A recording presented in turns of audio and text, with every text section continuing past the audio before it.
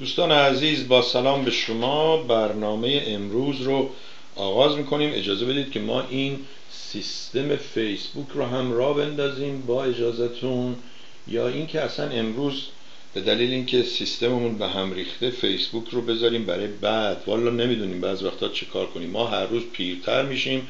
این سیستما هم هر روز مشکلتر میشه و یکیش میاد خیلی جالبه. میگه فلان برنامه رو آپ تو دیت کن میگیم چشم. جالب اینه همون موقع که می‌خوایم آپ تو دیت کنیم میگه آیا شما به این برنامه اطمینان دارید؟ شما چه انتخابی دارید؟ به غیر از اینکه بگید بله برنامه بوده که قبلا داشتید استفاده می‌کردید. من دیروز کروم که یک به اصطلاح براوزری هست و ما استفاده می‌کنیم چون مثلا سیستم های دولتی بیشتر با Internet Explorer کار می‌کنه. بعد اونهایی که جوانتر هستن و بیشتر کار کامپیوتری می‌کنن با Firefox بعد کروم دوباره کروم یک نقشی از به یک بخشی از گوگل هست و اینها. و اینها بعضی وقتا شما رو مجبور می‌کنن بعضی وقتا هم به این صورت هست که به اصطلاح چی میگن؟ زور میگن به شما. یعنی مثلا یه سیستمی میاد هنگاوت مال گوگل وایسه. اینو وقتی شما می‌ذاری میاد کامرا و میکروفونتون رو بر میداره. بعد هر وقت اون دلش خواست اجازه میده به شما که ازش استفاده کنید حقیقتا مثل مهمونی میمونه که شما با خلوص نیت بهش اجازه می‌دید از منظر شما استفاده کنه ولی اون سو استفاده می‌کنه. بعدا مثلا شما می‌خواین از آشپزخونه استفاده کنید باید از اون اجازه بگیرید. در صورت امروز یه مشکلی داریم. امیدوارم تا فردا حل بشه. اگه نه ممکنه من مجبور بشم که یک سیستم جدید بگیرم. دوستانی که روز یک شنبه و شنبه و اینها دیدن ما داشتیم امتحان می‌کردیم این سیستم های جدید و اینها. و گاهی وقتا باید با همون قدیمی مخصوصا وقتی دیگه مواد سفید میشه یا آمریکایی‌ها میگن خاکستری میشه با همون سیستم های قدیمی راضی باشی و بمونی. میگن که کفش کهنه راحت تره درسته که کفش نو قشنگ تره ولی کفش کهنه راحت تره امروز داشتم با پتیک کلکل می‌کردم و راجع به ماشین بود. گفت ماشینی داره که سالهاست داره و ازش راضیه و الان دیگه دوستان ماشین ها رو مثل قدیم نمی‌سازن. دلیلش هم اینه که ماشین های قدیم رو که می ساختن می ساختن برای شما بعدم بدیش به پسرت بعدم پسرت بده به نوه نوه شما یا پسرش. ولی الان میگه وقتی شما اینو می‌خری باید توی پنج سال این زنگ بزنه بپوسه تا شما مجبور بشی یه ماشین دیگه بگیر خلاصه خوشحالم که بله میگه که آقای سربی باز صورتتون شده مثل آفتاب. بذارید یه چیز جالب بهتون نشون بدم. من آخرین باری که رفتم دکتر و یه قطرهایی میریزن تو چشمت که این چشمت باز میشه. دیگه حساسیتش و اتوماتیک بودنش از دست میده. اینا میگن دایلیشن یعنی بازش می‌کنن. مثل دایل که می‌کنی تلفن باز می‌کنی اینا اینجوری. قبلا یک چیزی می‌دادن مثل عینک بود میذاشتین رو چشمتون. این دفعه وقتی رفتم خانمه اونجا یه تیکه مقوای اینجوری به من داد گفتم این چیه؟ گفت شیده. شید مثلا برای آف سایه و اینا میگن شید. وقتی آوردم اینو تو ماشین دیدم یه چیزی به نه دست نه دسته داره که رو چشمت بره اینا. و خیلی جالبه. رو هر عینکی و اینا شما می‌تونی بذاریش در صورت. گفتم اینایی که شکایت می‌کنن آقا خیلی نورانی شدی. حالا من نمی‌دونم شما چرا حسودی می‌کنی؟ آقا شاید من دارم پیغمبر میشم. مگه آقای احمدی نژاد نیومد نیویورک نورانی شد؟ مگه حضرت مسیح هر جا می‌کشین نور رو سرش نیست؟ چرا شما اینقدر بخیلید؟ بذارید منم نورانی بشم. در صورت اینو می‌خواید بذارم رو این ببینم چیزی میشه یا نور میندازه چیزی شد یا نور میندازه شد نشد بهتر شد. این مجید دستیار تنبل ماست.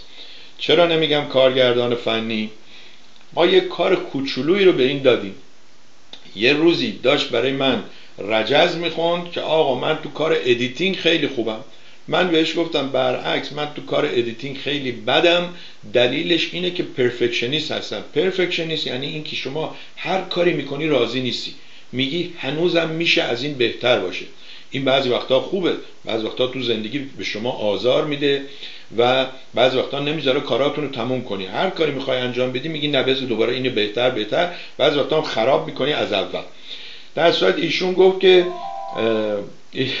میگه فقط چشماتون دیده میشه. والا من نمی‌دونم فقط چشماتون دیده میشه. حالا شما بگذر با این. عینک بزنید. شما وقتی برنامه منو می‌بینید عینک بزنید.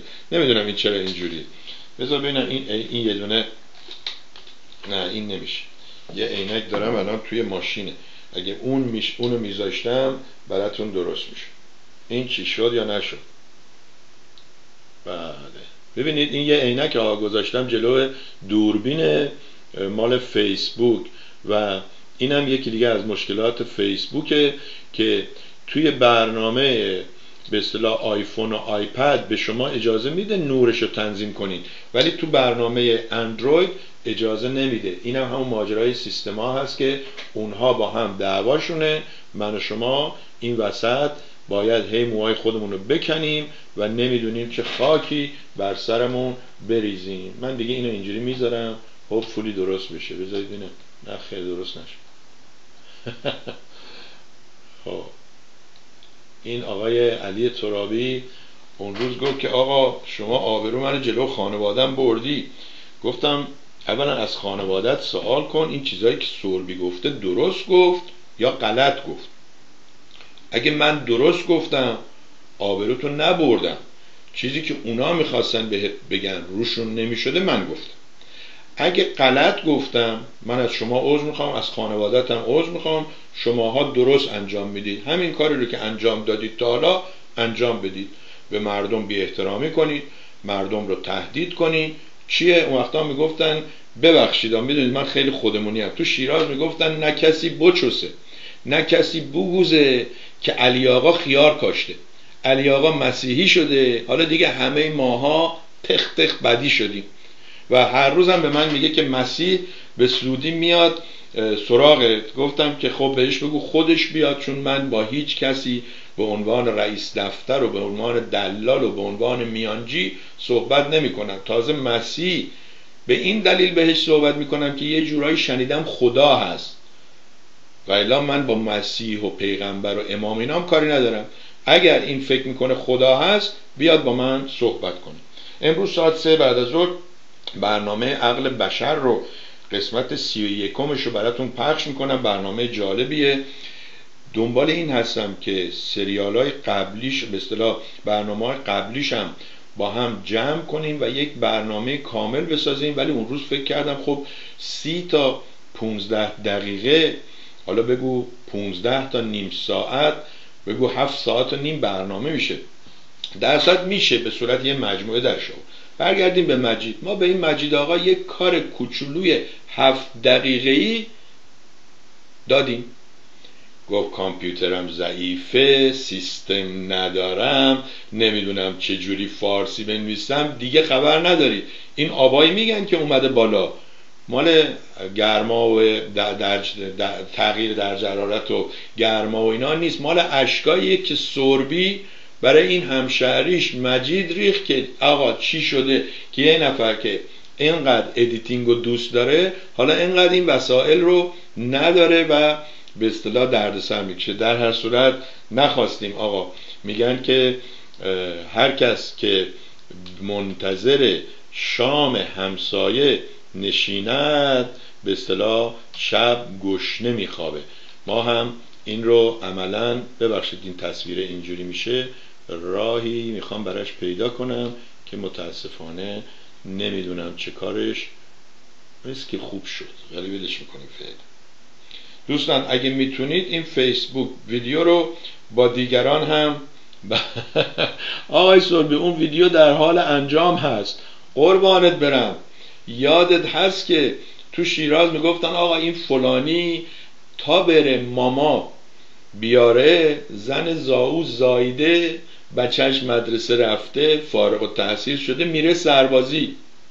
دوست عزیز این رو ما زودی می‌خواستیم. شما حتی پرسیدی کی می‌خوای؟ گفتم تو آمریکا یک مسئله هست. میگه این رو من دیروز می‌خواستم. به همین خاطر امروز به شما گفتم که زود برام انجامش بدید ممنون متشکرم. امروز دوشنبه از 4 دسامبر 2017 برابر است با 13 آذر ماه 1396 رئیس CIA گفته که قاسم سلیمانی نامه ام را باز نکرد. یعنی ماها که میگیم با این پادشاهان حقامنشی چنان و چنان پادشاهان نمی‌دونم فلانی ساسانی چنین و چنان. و الا خب آدم درست حسابی یزگرد سوم بوده یک فرستاده از نزد عمر میاد نامه میاره نامه رو بخون مثل آدم پاسخ بده. نه اینکه برو چون نمی‌دونم معمور بودی سرتو نبریدم. و الا دفعه دیگه دم دروازه شهر سرتو می‌برم. این آقا قاسم سلیمانی هم نامه رئیس سازمان سیا رو باز CIA رو باز نکرده و ببینیم حالا چی پیش میاد. البته این آقای مایک پامپو رئیس سازمان اطلاعات مرکزی آمریکا یا CIA فکر کنم ایشون به زودی یا شاید هم از امروز عوض میشه میشه میشه وزیر امور خارجه. آقای رکس تیلرسون رو با سلام و سلوات امروز مثل یه شغل جدیدی بهش دادن فعلا چون دیگه آبرویی برای ترامپ نمونده و ترامپ هی از پرسیدن خب آقا این چیه؟ هر کدوم از اینا 25 روز، 30 روز، 10 روز، 6 ماه هنوز یک سال نشده. تا هنوز کابینت تکمیل نشده. همین چهار تا علیل و زلیل و بدبخت دیرم که آوردی اینا رو هم نمی‌تونی نگه داری حالا اینو داشته باشی. دیروز یه دوست من زنگ زده. آقای سوربی شما میای سه شنبه بریم کاخ سفید پهلو آقای ترامپ؟ میگم بریم پهلو ترامپ برای چی؟ میگی می‌خوایم ببینیم برای ایران کاری انجام میده یا نه. میگم آخه ببخشید شما احمقی. این مردک الان باید دست به دامن خدا پیر پیغمبر دیگران بشه تا بیان یه کاری برای خودش انجام بدن. اینا فکر اینه که بیاد به شما کمک کنه. واقعا اینا طرفداران پادشاهی هستن معمولا. از اون برم مجاهدین. خب مجاهدینی که می‌خواد به ترامپ آویزون بشه. پادشاهی که می‌خواد به ترامپ آویزون بشه معلومه تازه اگر ترامپ از این مخمسه نجات پیدا کنه بتونه خودش رو از این باطلاقی که خودش انداخته داخلش. می‌دونید چرا؟ یکی پس از دیگری دروغ گفت و دیروز می‌گفت که این آقا هنوز فکر می‌کنه تو کارهای بیزینسه. میگه تو کار بیزینس. این وقتی هم وکیل می‌گرفت یه دفعه میمد به وکیله میگه حالا چیکار داری می‌کنی؟ میگه این میگه نه این کارو نکن اون کارو بکن. و اونجا چون بولی بولی یعنی کسایی که زور میگن. چون زور می‌گفت و طرف مقابلش بدبخت آدمای contractor ضعیفتر بودن و اینها اونا شکست میخوردن. ولی اینجا طرف مقابل ترامپ احمق یک قانون اساسی 250 ساله ای هست که حالا آقای سهراب چمنارا میگه این از کوروش کبیر بوده اون یکی میگه از انگلستان کپی کردن اون یکی میگه انگلستان که قانون اساسی نداره. هرچی بوده چهار تا از ما بهترون. که وقتی شما این قانون می‌خونی فکر می‌کنی چجوری 250 سال پیش این چهار نفر نشستن فرانکلین و جفرسون و فلان اینها درباره این چیزها صحبت کردن و به نکاتی توجه کردن که امروز بعد از 250 سال این به اصطلاح عیب و ایرادا میاد بیرون. در صورت باید یکم صبر کنیم چون بازرس مخصوص رسیده پشت در اتاق آقای ترامپ. حالا اونایی که فردا می‌خوان برن ترامپ رو ببینن احتمالا ویدیوهاش میاد بیرون که چه کار می‌کنی برای ایران اونا دیگه کیان؟ خب عکس شاه ام دکتر. یعنی این توی برنامه قبل از من هم آقای انصاری دوستان یه برنامه داشتن که به زودی روی یوتیوب و اینها قرار میدیم. بذارید ما ببینیم. عجب ما ماجرای گیر افتادیم ما نه نمیشه. کی بود گفت فقط چشماتون پیداست؟ یعنی چی فقط چشماتون پیدا؟ آقای سوربی جلوی ظهورتون رو نگیرید. شاید امام زمان باشید نه قربونتم من هنوز تو چا نرفتم. امام زمان بودن باید اول تو چاه بری. یه چیزای مخصوصی داری. چرا اینجوری که می‌کنم خوب میشه؟ نگاه کن اینجوری بتونم نگهش دارم خوبه ها. ولش که آقا نورانی بشیم به قول معروف شاد شدیم امام زمان. ما که از تلویزیون داری به جایی نرسیدیم. حاله نور. ممنونم. از این دوستمون آقای پناهی میگه حاله نور. والا ما ما دیگه حاله نور از اون گذشته. یه شوخی می‌کنم. اینایی که طرفدار پادشاهی هستن بعدشون نیاد. ما هی این ور که می‌رفتیم هی دوستان می‌گفتن آقا حالا می‌بینی که هر جا میریم میگن نور به قبر شاه بباره. گفتیم آقا وقتی به کسی میگن نور به قبرش بباره که یعنی خودش نوری نداره. ولی اگه شما منظورتون اینه که نور ز قبرش میباره اون وقت من براتون میگم ماجرا چیه. گفتن چیه؟ گفتم اتفاقا چون این برون ور شنیده بودم من همینجوری تو فکر بودم یه شب که خیلی زیاد خورده بودم خوابای آشفته می‌دیدم یه دفعه دیدم شاه آمد به خواب من و یه عینک دودی زده بود و دیدم خیلی نورانی شده. گفتم عالی جناب که چی بگیم به شاه؟ شاه آریامه. چی شده؟ من شنیده بودم که شما نور ز قبرتون میباره. این نورا از کجا میاد؟ گو آقا این احمقا نمی‌دونن. من تو جهنمم. یه گرز آتشین کردن فلان جام از صورتم نور میباره. حالا دیگه خفه بشید. هی نگید نور ز قبرش میباره. آخه شما وقتی میگید نور ز قبرش میباره با اون افراد فناتیک بنیادگرای عقب افتاده ای که باور دارن اماما همشون مثل این فضانوردان نه مثل ایلین موجودات فضایی نور دور کلشون بوده و حاله دور کلشون بوده و اینها. البته این خانم حالا بعض وقتا دور کله این اون میچرخه. این کیه میخنده؟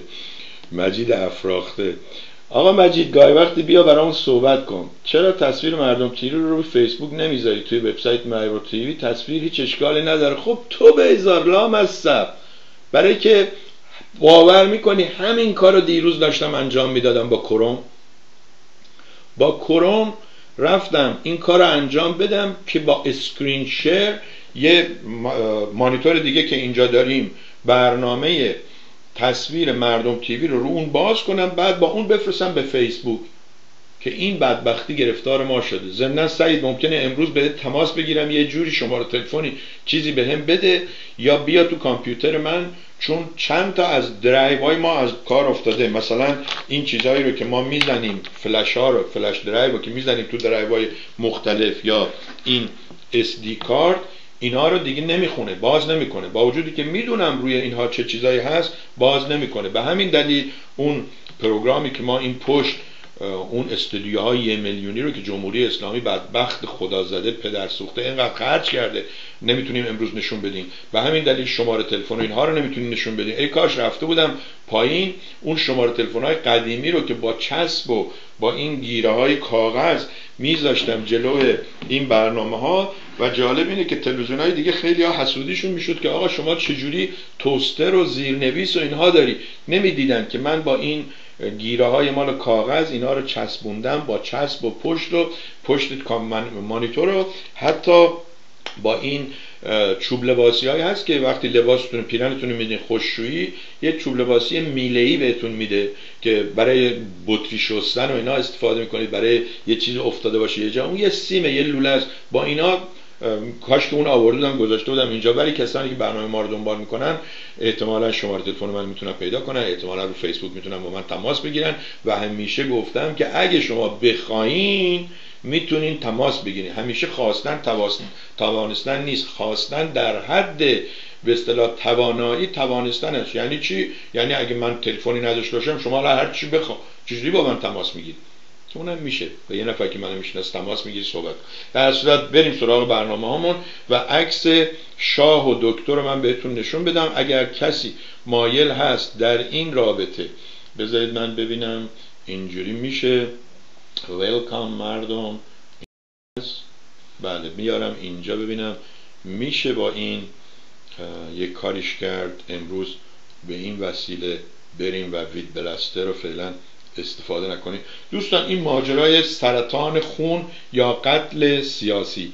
حالا اون بالاش که یه شعری رو ترانه‌ای که در ایران پس از جنگ جهانی دوم بر سر زبانها بوده نوشتن و اینها رو ما کاری نداریم. ولی اینجا نوشته که چرا دکتر مایکل دبیکی جز دروغ نگفت و چرا ساده تدبیر پزشکی را پس از برخورد چاقوی جراحی با لوز المعده پادشاه ایران به کار نبرد. این قفلت پزشکی منجر به خروج یک کیلو یک کیلو و نیم چرک از بدن شاه پس از سه ماه و طی جراحی دیگری شد. جورج فلاندن طی نامه برای استادش پروفسور ژان برنارد نوشت برای اعاده حیثیت مردی که از هر سو مورد حمله قرار دارد باید کاری بکنم. شرافت ایجاب می کند که سوگند بغرات را زیر پا نگذارم و رازداری مطلق را رعایت کنم. ولی چنین کاری به معنای تایید دروغ و شایعه ها, شایعه ها هست. اینم از این. اگر کسی در این مورد می‌خواد صحبت مهمون ما باشه یا زنگ بزنه تماس بگیره پیام بذاره و به اصطلاح با هم یه کاری می‌کنیم که این مطالب باز بشه. و این دوستانی که هی میگن چرا امروز؟ برای که امروز جمهوری اسلامی می‌خواد از بین بره ما داریم نگهش میداریم. آقا اگه دیروز هم گفته بودیم می‌گفتین چرا دیروز؟ اگه فردا بگیم میگین چرا فردا؟ اگر هر روزی دیگه ما بگیم میگین در این لحظات حساس 39 سال هر روز در این لحظات حساس بوده؟ هیچ غلطی هم نکردیم. تلویزیون اندیشه هم بسته شد. یه نفر نوشت آقا تلویزیون اندیشه هم بسته شد. گفتم وای حالا چجوری ما ایران آزاد کنیم؟ واقعا چجوری ما ایران آزاد کنیم؟ تلویزیون کانال یک بسته شد اندیشه بسته شد. وقتی بودن چی کار می‌کردن؟ واقعا چی کار کردین شما با تماشا؟ اندیشه مثل که یازده سال ده سالی بود. حالا قطع و وصل و عوض دو گز و رئیسش بشه آقای شجره رئیس بشه آقای کاردان رئیس بشه آقای فروزنده رئیس بشه کورش ارفانی هی عوض شد. چه تغییری کرد؟ والا فیل میگن مرده و زندهش به اصطلاح یه قیمت میارزه. بعضی ها میگن این طرف آقا بوده نبودش فرقی نمی‌کنه. این تلویزیون من آقا فردا نباشم شما یکی دیگر پیدا می‌کنید. یا آقای پیدا می‌کنید که میاد میخنده و موزیک می‌زنه و اینا. دیروز داشتم برنامه آقای قشقایی رو نگاه می‌کردم. خیلی عالی. باریکلا. آقای داریش قشقایی. مثلا می‌خواد بره خرید کنه. این تلفنشو می‌ذاره. نه آقا وید بلستر می‌خواد نه 11 هزار دلار نمی‌دونم پول فلان می‌خواد نه اینترنت می‌خواد. همین مای 30 40 دلار 60 دلار دادن تلفن. تلفنی که همه چی اینکلوده یعنی all you can talk all you can eat all you can فوش هر کاری دلت می‌خواد. تلفن رو 5 دلار یه از دستگاه ها خریدن که این. یه چیزی اینجوری می‌خری وصلش می‌کنی به شیشه ماشینت اینم مکشه. بعد تلفن تو وصل می‌کنی رو این می‌ذاری. هر جوری داری رانندگی می‌کنی برای که تنها نباشی. یادتونه گفتم یه مدت این آقای حمید نجاری هر وقت می‌رفت آکشن دو سه ساعت با رانندگی می‌کرد بعدش که می‌خواست بره خونه لابد دیگه زنش داره مثلا خوراک میپزه براش. زنگ می‌زد به من صبح جان چطوری؟ می‌گفتم خوبم. بعد می‌گفت که آره دیگه داشتم از آکشن میمدم گفتم حالا که من بیکارم به تو تماس بگیرم.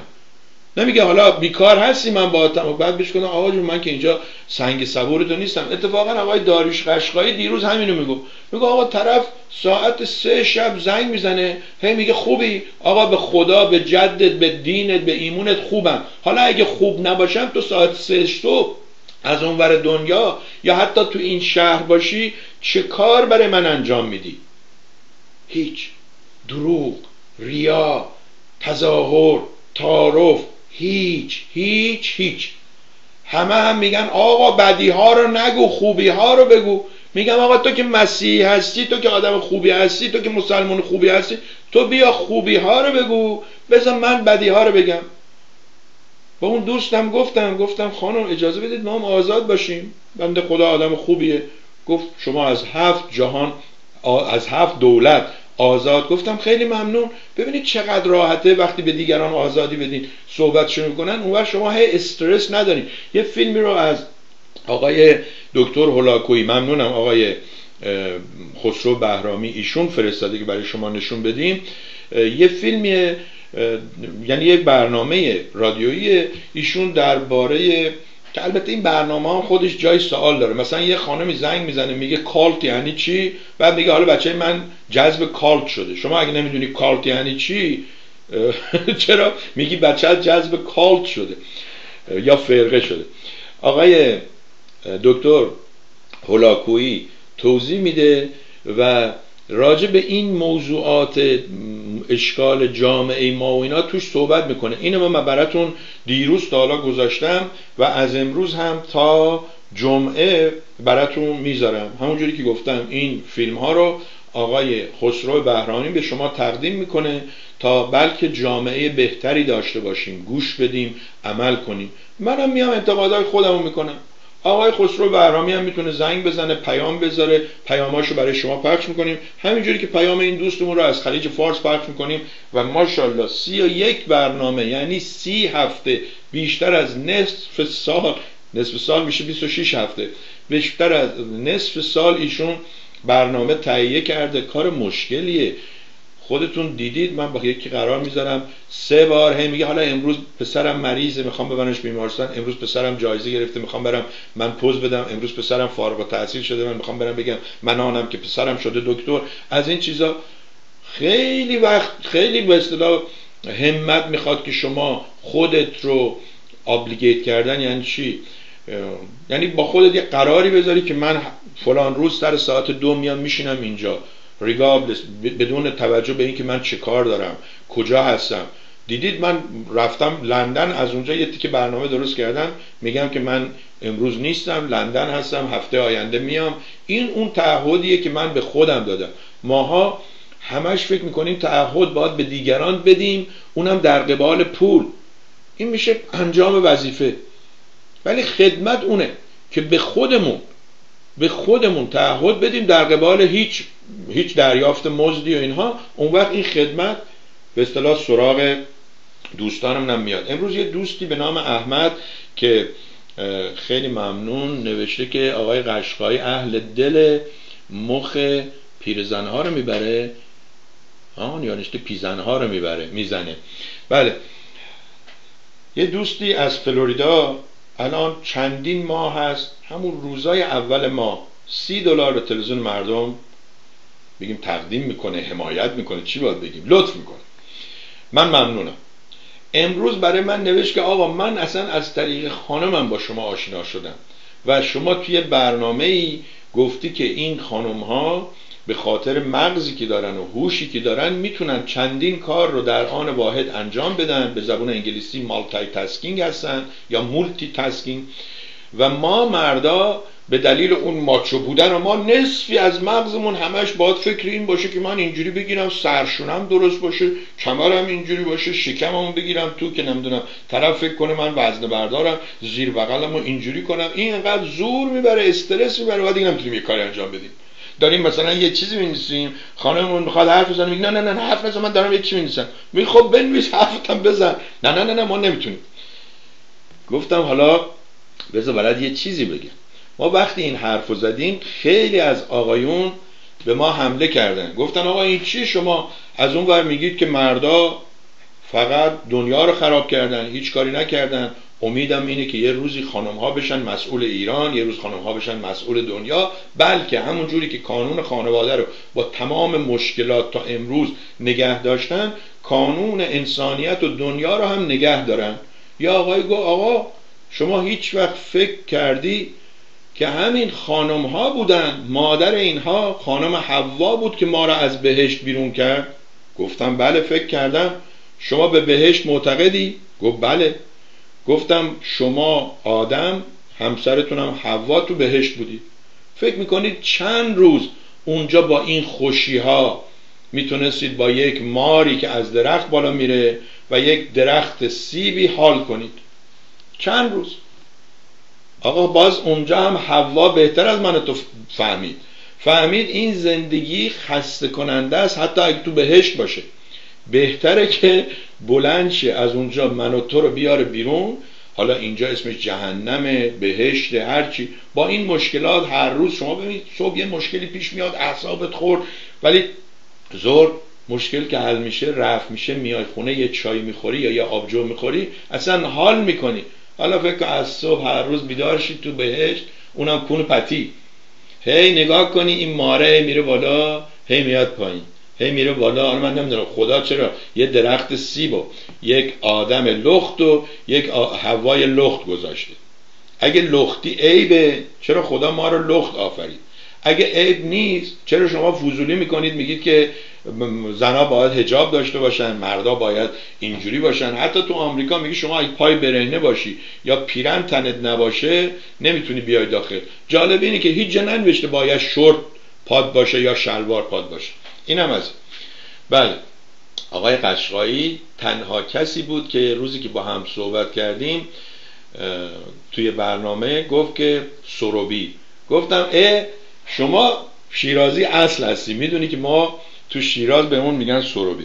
قشقایی هم گفتم بهتون که من مادر خودم هم همون باس اینا می‌دونیم پنج تا قبیله هستن پنج تا ملیت ما هم نمی‌دونیم این sub nation اصلا وجود داره یا نه. nation یعنی ملی چی میگم؟ sub nation اتفاقا آقای جلالی بحثی در این باره کرده. میشه ملیت. بعضی ها میگن آقا ما ملیت نداریم نوع مختلف نداریم. ما قوم های مختلف داریم. آقا هر کوفتی می‌خوای اسمشو بذاری بذار. ما داریم میگیم آقا این قومیه یه جوری حرف می‌زنه اون شیرازی یه جوری حرف می‌زنه میری یاسوج لوره یه جوری حرف می‌زنه میری بندر اون یکی عربی یه جوری حرف می‌زنه. حالا ملیت قوم هر چی مهم نیست. در صورت ایشون بله آدم بسیار خوبیه. البته تو چند تو سال گذشته متاسفانه چندین بلای بزرگ به سر خودش و خانوادهش آمد ولی مقاوم وایساد و به اصطلاح یه جورایی بهش تبریک میگم که اینقدر قدرت داره که با زندگی و با مشکلاتش به اصطلاح دیل کنه. دیل کردن یعنی کنار اومدن. یا پیروز شدن حتی. دیل کردن میشه کنار اومدن معامله کردن ولی پیروز شدن یعنی اون زندگی و مشکلاتش رو شکست بدی و شما پیروز بشید و اما عکس شاه و دکتر رو نشون دادیم براتون اینجا خط می‌کشیم. ساعت دو چهل دو دقیقه است 18 دقیقه دیگه میریم سراغ دوستمون از خلیج فارس با برنامه 31 و من اون روز نوشتم که فیسبوک یک محلی شده برای افراد عقده‌ای باید مینوشتم مانند من. و این کارو نکردم اشتباه بود. البته نوشتم که ما میایم اینجا توهین می‌کنیم تهمت می‌زنیم تهدید می‌کنیم و اینها بعدش هم خوشحال میریم. اونی که دیندار فکر می‌کنه قدمی در راه دین برداشته. اونی که فکر می‌کنه فعال سیاسی فکر می‌کنه قدمی در راه سیاست ورداشته و مردم را آگاه کرده. فعال اجتماعی فعال حقوق بشر فکر می‌کنه اجتماع را آگاه کرده. حقوق بشر رو به مردم تقدیم کرده الی آخر. ولی فیسبوک خود آمریکا و الان دنیا هم باهاش مشکل داره. میگه این اکانت که درست کردید اینا قلابی هستن. و روزای اولی که درست کرد اگر شما گزارش می‌دادید که آقا این سوربی این سوربی نیست دروغ میگه تحقیق می‌کردن عکس رو با هم نگاه می‌کردن چی میگن ولی الان برای اینکه به دیگران بگه من این همه عضو دارم این همه نمی‌دونم 1.7 بیلیون یا هم چیزی هر چی کرد دروغ میگه و خود فیسبوک می‌دونه که این اکانت ها قلابی هم. یک برنامه قبلی دوستی داشتیم نوشته بود فردا نه فریاد آزادی یا فردا آزادی فردا آزادی دو. خب این معلومه. آقا تا اگر سازمانی هستی با قشنگ اسمتو بنویسی. بعد تازه به غیر از اون عکس خودت هم بذاری که آقا این سازمان مثلا جنبش ملی مقاومت چوپانان. بعد یه عکس خودت عکس یه بره ای عکس یک از این چوبا بود. چی بهش گفت؟ چماق می‌گفتن. چماقایی که سرش هم این دستمال و نون پنیرشون داخلش بود و اینها باشه که آدم تو رو که می‌بینه ببین بله این چوپانه می‌تونه این سازمان چوپانان رو به اصطلاح سرپرستی کنه. و الا همتون ارتش آزادی بخش ایران. خب بزرگترین سازمان مجاهدین بود. الان خود ارتش آزادی بخش با خودش دعوا داره. و امروز دیدم آقای گلن ترشیزی نوشته که در میان این همه چیز سازمان مجاهدین تونسته جوانان رو گفتم آقا واقعا خجالت بکش غلام عزیز نکنی حرفا رو نزنی دروغا رو ننویس. مردم میخندن ازت. جوانان رو جلب خودش کرده. جوانان رو جلب این نوع مذهب کرده. این نوع مذهب یعنی چی؟ مذهب مجاهدین چه فرقی داره با مذهب خمینی؟ چه فرقی داره؟ این اجازه میده که روسری قرمز داشته باشن. اون میگه باید مشکی که الان اونا هم اصلا براشون مهم نیست. هر رنگی دلت می‌خواد باشه. بیان صحبت کنید آقای ترشیزی. بله. این هم از دیگه رژیم ایران تغییر می‌کنه. بس که این حرف فلان را تکرار می‌کرد. بالاخره آقای روی خط نمی‌دونم نصفش خونده نمیشه. بذار برگردم بعدا. باورتون میشه که Internet Explorer نمی‌ذاره خود من بیام فیسبوک اون live رو نگاه کنم؟ واقعا چیکار کنیم با اینا؟ البته به پتیک داشتم می‌گفتم اون روز گفتم که یه جورایی باید خوشحال باشیم. یکم فکر کنید بابای شما قاضی بوده بابای اون معلم بوده بابای اون دادستان بوده بابای اون وکیل بوده بابای من راننده بوده. وقتی که اینا رسیدن به یه سنی ازدواج کردن خونه ای داشتن بچه ای داشتن زندگیشون دیگه همینجوری رفت تا روزی که بمیرن بیچارا خدا رحمتشون ولی من و شمایی که الان یه سالمونه شما ممکن 60 هوشنگ میگه ده سال از من پیرتره. هفتاد سالش باشه یا بیشتر باشه هر روز باید یه چیزی یاد بگیری. امکان نداره شما یه روزی از خواب بلند شی شب که میخوابی هیچ چیزی یاد نگرفته باشی. یا در رابطه با کار کامپیوتره یا در رابطه با برنامه تلویزیونه یا بالاخره باید یه چیزی یاد بگیری. اگر یاد نگیری این خوبه. بله ناراحتیم تنبلیم می‌خوایم یاد نگیریم ولی از یه لحاظ خوبه. همینجوری دائم به ما فشار میاره که ما با زمان پیش بریم. یا فارسی میگن پویا باشی ایستا نباشی. ایستا هم کلمه ایست. ایستا یعنی کسی که وایساده پویا پوینده و رونده و هر چی شما دارید. بله دوستان ما یک کلمه ای داریم تو انگلیسی بهش میگن born again. یعنی دوباره متولد شدن. اینا افرادی هستن که در جوانی میرن دنبال عشق و حال و دوا و عرق و اینها. یه دفعه وقتی دیگه سرشون به سنگ می‌خوره مادرش میمیره بعد احساس گناه می‌کنه که من نبودم مادرم این همه پول خرج کرد یا مادرم رو زدم چیاش بردم فروختم. همه اینا رو که چیز می‌کنن یه دفعه مثلا مسیحی میشن. میشه آقای جورج بوش. تو ایرانی یه سری الان چند سال بعد از انقلاب بهش میگن نوکیشان. البته ما تو ایران زیاد داشتیم. من دوستی داشتم که اینها بهشون می‌گفتن کلیمی های جدید و کسایی بودن که حالا یا از ترسشون کلیمی شده بودن یا دلشون خواست بود کلیمی شدن اینا و هر جوری که شما بگید خداییش هیچ وقت اینا نه کلیمیه بهش اطمینان می‌کنه نه مسلمونه بهش اطمینان می‌کنه. دلیلش هم خیلی واضحه. میگه آقا تو که دین پدری خودتو ول کردی حالا دین ما رو چجوری ما فکر می‌کنی نگه داری بمانه. توی ایرانی ها این نوکیشان شما بگردید توی آقای علی ترابی من با شما کاری ندارم. بگردید توی اینترنت و اینها ببینید این تبلیغات که اینا می‌کنن این صحبت هایی که با مردم می‌کنن این زورگویی ها مگه همین چیزا نبوده؟ که شما از جمهوری اسلامی در رفتی حالا به هر دلیلی بله ویزات دادن پاسپورتت هم دادن یه دفعه شب جیزز اومده گفته حالا که پاسپورت و ویزا داری بیا مسیحی بشی شما فردا میری تو حوز مسیحی شنا می‌کنی مسیحی میشی. بلا اینجوری نیست که به خاطر اینکه ویزا نگرفتی پاسپورت نداری بری مسیحی بشی.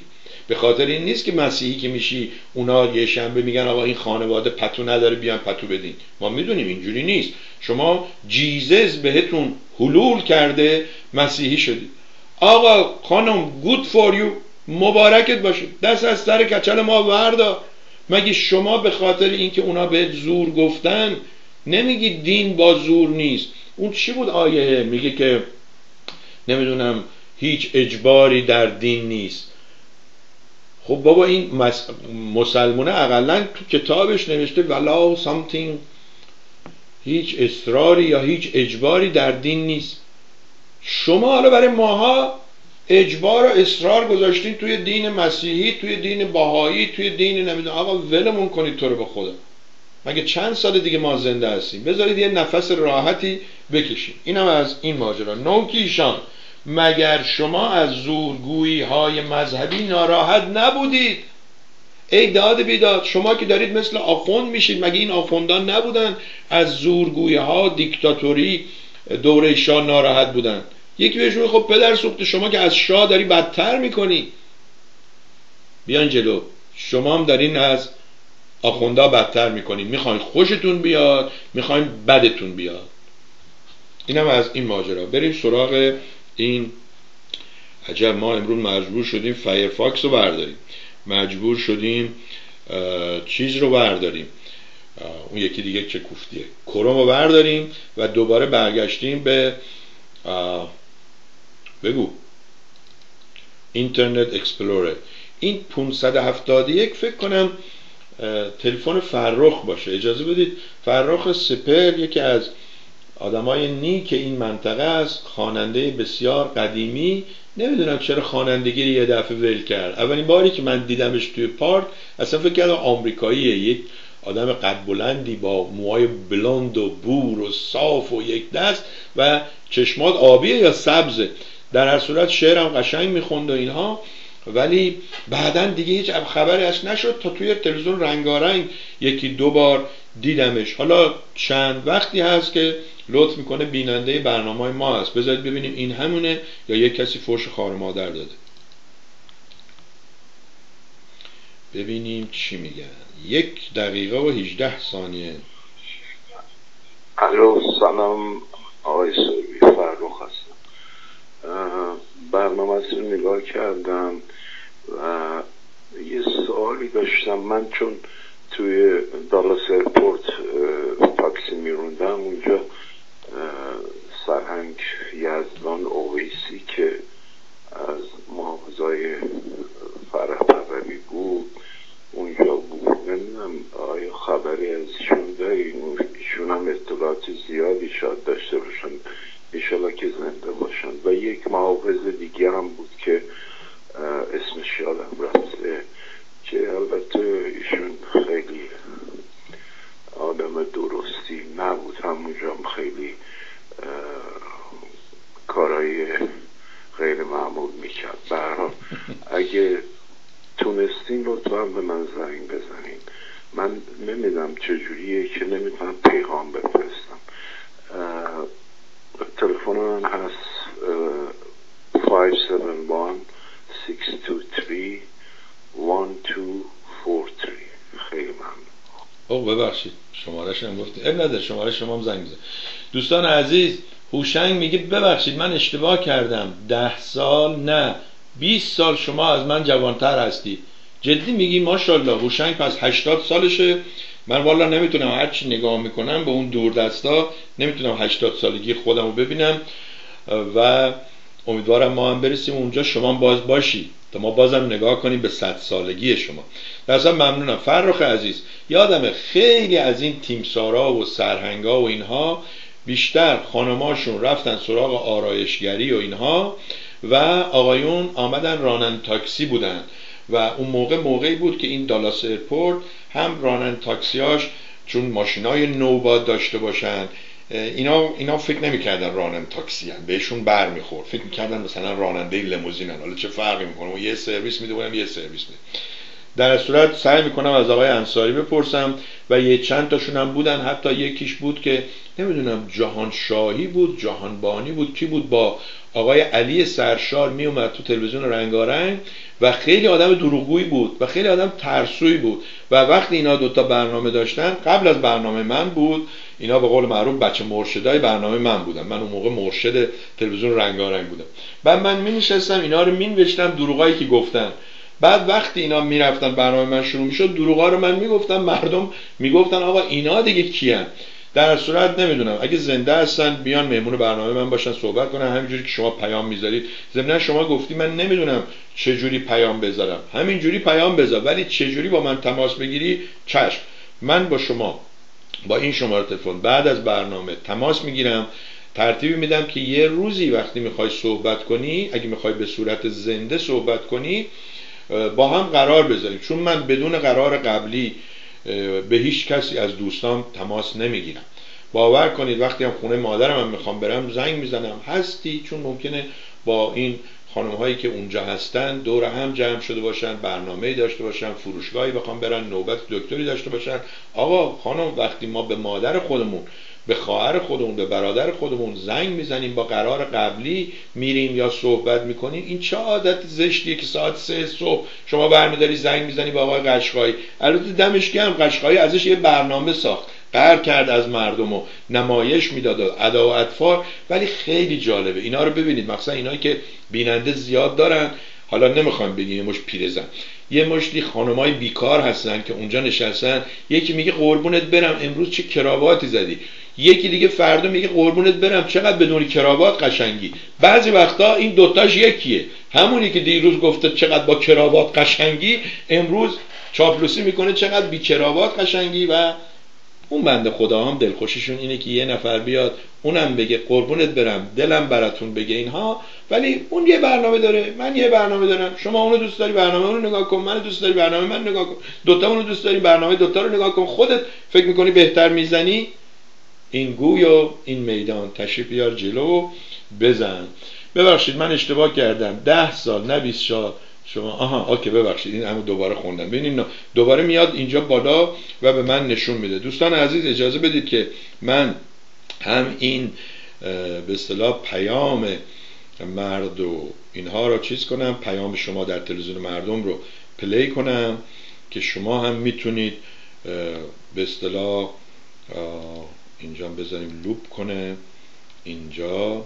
شما هم می‌تونید پیام بذارید. فرق جون درباره چیزایی که می‌خوای صحبت کنی ده دقیقه با این تلفنی که تماس می‌گیری سه دقیقه با اون 202 می‌تونی زنگ بزنی پیام بذاری. من پیام تو پخش می‌کنم. اگه دوست داری مهمون باشی برنامه زنده که احتمالا اون مزاحم کارت میشه. بعد اگه داری رانندگی می‌کنی وایسی. اگه سر کاری وقت بگیری بیای بیرون اینها.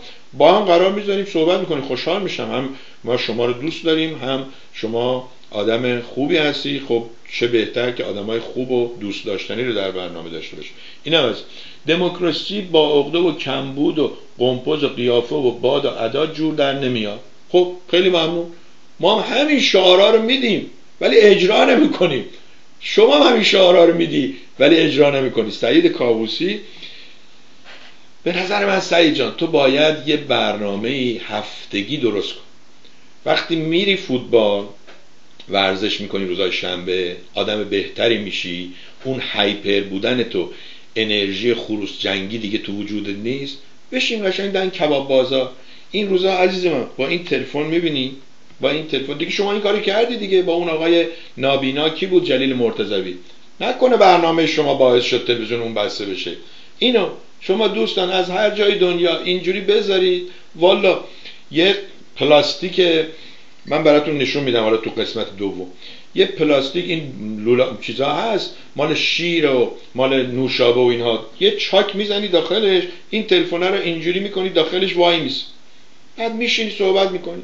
حتی بشین داری خوراک می‌خوری. برای مردم بگو که من اومدم کباب بازار آلبالو پلو درست می‌کنم. عجب آل... دارم می‌خورم. عجب آلبالویی هم درست می‌کنه این آقای محمد و بهروز و اینها. و توضیح بده. بعدم راجع به صحبت روز صحبت کن. نه امروز خبر دادن که آقای علی ساله اون و نخست به اصطلاح رئیس جمهور قبلی یمن بود. من دو سه روز پیش گفتم حالا کی براش مهم رئیس جمهور قبلی یمن؟ چی میگه؟ کشتنش تموم شد رفت.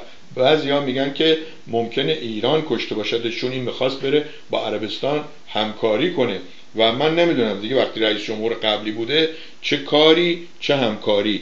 دوستان عزیز بریم سراغ صحبتای دوستمون عقل بشر شماره سی و یک. بفرمایید ممنونم از شما که این برنامه رو به این مرتبی درست می‌کنید و برای دوستان میفرستید. آها فقط یه اشکالیه. وقتی که من اینو نشون بدم اون وقت اونو نمی‌تونم پلی کنم. عجب عجب دردسری ما گیر افتادیم ما واقعا. بذارید من یه عکس از این بگیرم برای شما. من این عکس رو هر وقت می‌گیرم یاد سعید میفتم که اینو یاد من داده. و ما باید اینجوری باشیم. بارها هم گفتیم. هم سپاسگزار کسایی باشیم که بهمون یاد میدن هی نگیم حضرت علی گفت هر کسی به من چیزی یاد دهد من تا آخر عمر غلامش میمانم. اینجوری باشیم. من هر وقت این اسنیپر رو استفاده می‌کنم یاد سعید میفتم ازش تشکر می‌کنم. صدای مردم در تلویزیون مردم. این عکس رو می‌گیرم براتون نشون میدم. چون باید از همین پروگرامه این رو هم من به اصطلاح پخش کنم. این تمام. حالا این میاد اینجا. به خدا باور کنید خسته شدم. یه مقداری دست تنها. بله. بفرمایید. دار عقل بشر شماره 31 را تقدیم. با سلام و درودی نو گفتار عقل بشر شماره 31 را تقدیم می کنم در این گفتارها بارها شنیده اید که معیارها از کودکی در مغز شکل گرفته و انباشته می شوند وقتی مغز انسان مسئله را برای اولین بار شنید یا دانست بدون شک درست و صحیح شمرده و به آن ایمان آورده و اساس فراگیری بقیه مسائل مربوط به همین موضوع قرار می دهد. بعدها اگر وضع اجتماعی و فرهنگی فرد اجازه داد و به بحث و بررسی روی آورد شاید آری شاید تغییر رأی داده و به اشتباه خود اعتراف کند در صورت عدم گشودن مغز و فراهم شدن وسایل و اوضاع فراگیری اکثریت انسانها به همان روش و عقیده مندی پیشین ادامه می‌دهند. تصور نکنید مسئله عدم تغییر مربوط به یک اجتماع و یا یک طبقه از مردم و یا دوران معینی است. هزاران انسان برای تحصیل و یا کار و یا اقامت به محیطی دیگر می روند هنگام بازگشت به خانه و یا کشور خود اغلبشان در اندیششان تفاوت بسیار کمی پیدا می شود افرادی که ممکن است تغییر نظر دهند بسیار کم می باشند این افراد در خارج خواهان پخش و انتشار عقیده ها اندیشه ها عادت ها و کردار انباشته در مغز خود هستند.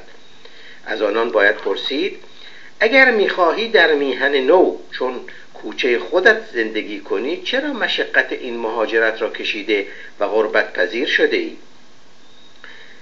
عدم تغییر عقیده ها یکی از پدیده های اساسی مغز و ناتوانی انسان است. اگر تغییری صورت گرفت بنابر انباشته های مغزی و معیارهای جاری و عمومی آن را بزرگ و یا تحقیر می کند مثلا اگر یک مسیحی مسلمان شد مسلمانان این تغییر عقیده را پیروزی عقیدهشان اظهار کرده آن را موفقیت دانسته و شادی می کنند برعکس این وضع هم به همین یک توسط دیگر دینها جشنگذاری و بزرگداشت می شود عقیده ها با تزریق به مغز در خردسالی و تکرارش غیر قابل تغییر می شود هر کس که مخالف آن را بیان نمود گنهکار و زندیق و جهنمی است. در گفتاری به داستان پیامبر یوسف اشاره کرده و وعده دادم حقیقت پژوهش باستانشناسی را به اطلاعتان برسانم. حال بگوشید و در پایان این گفتار از خود سوال کنید.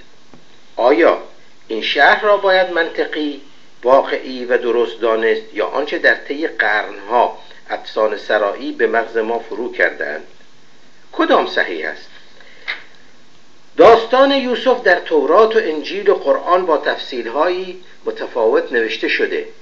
فیلم ها از آن ساخته اند کتاب ها سریال ها درست کرده اند حال که این داستان به شکلی مختلف به اطلاعاتان می‌رسد شما کدام را می باورید در قرآن آمده خداوند به پیامبر می‌گوید من برایت بهترین داستانها را می تعریفم از متن این آیه در میابیم خداوند خود را قصه گو معرفی می کند این قصه در دو کتاب مقدس قبلی هم آمده. آیا آفریدگار توانا و قادر داستان بهتر و جالبتر دیگری را نمی‌دانست که برای آفریده های مسلمانش تعریف کند. دینی که پیروان دو دین دیگر را مغضوب علیهم یعنی مورد خشم قرار داده و والین یعنی گمراه دانسته است.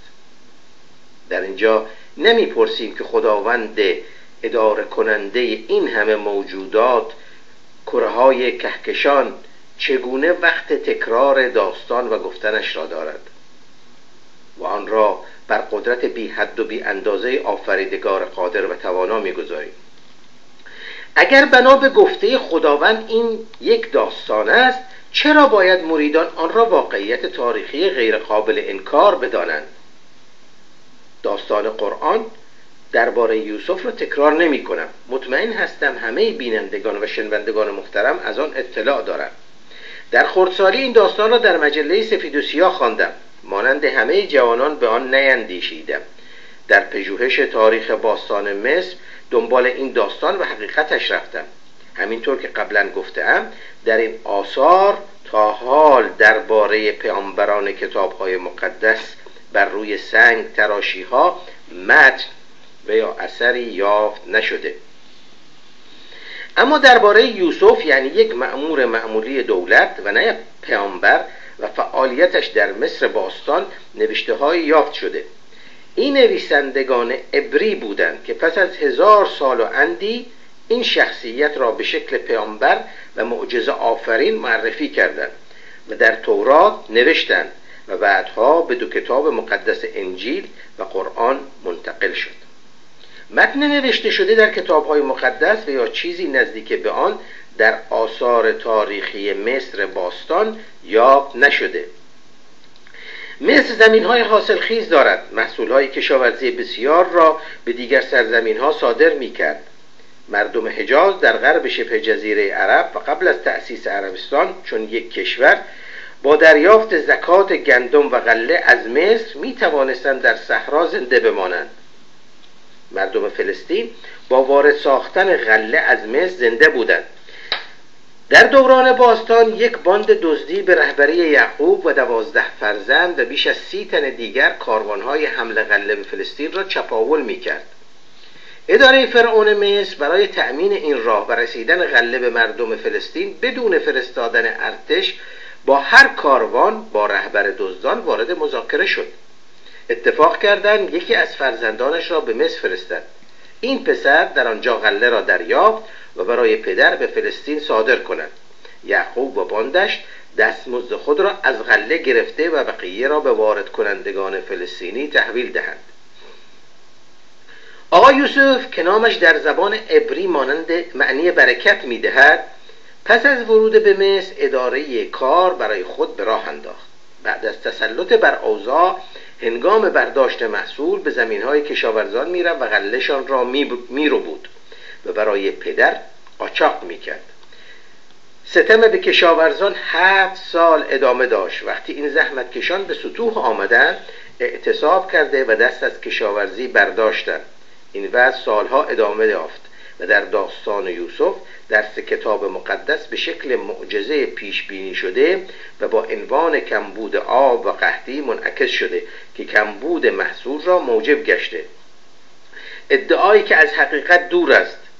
زمین های کشاورزی مصر با رود نیل آبیاری می شوند و در تاریخ طولانیش هرگز کمبود آب نداشته.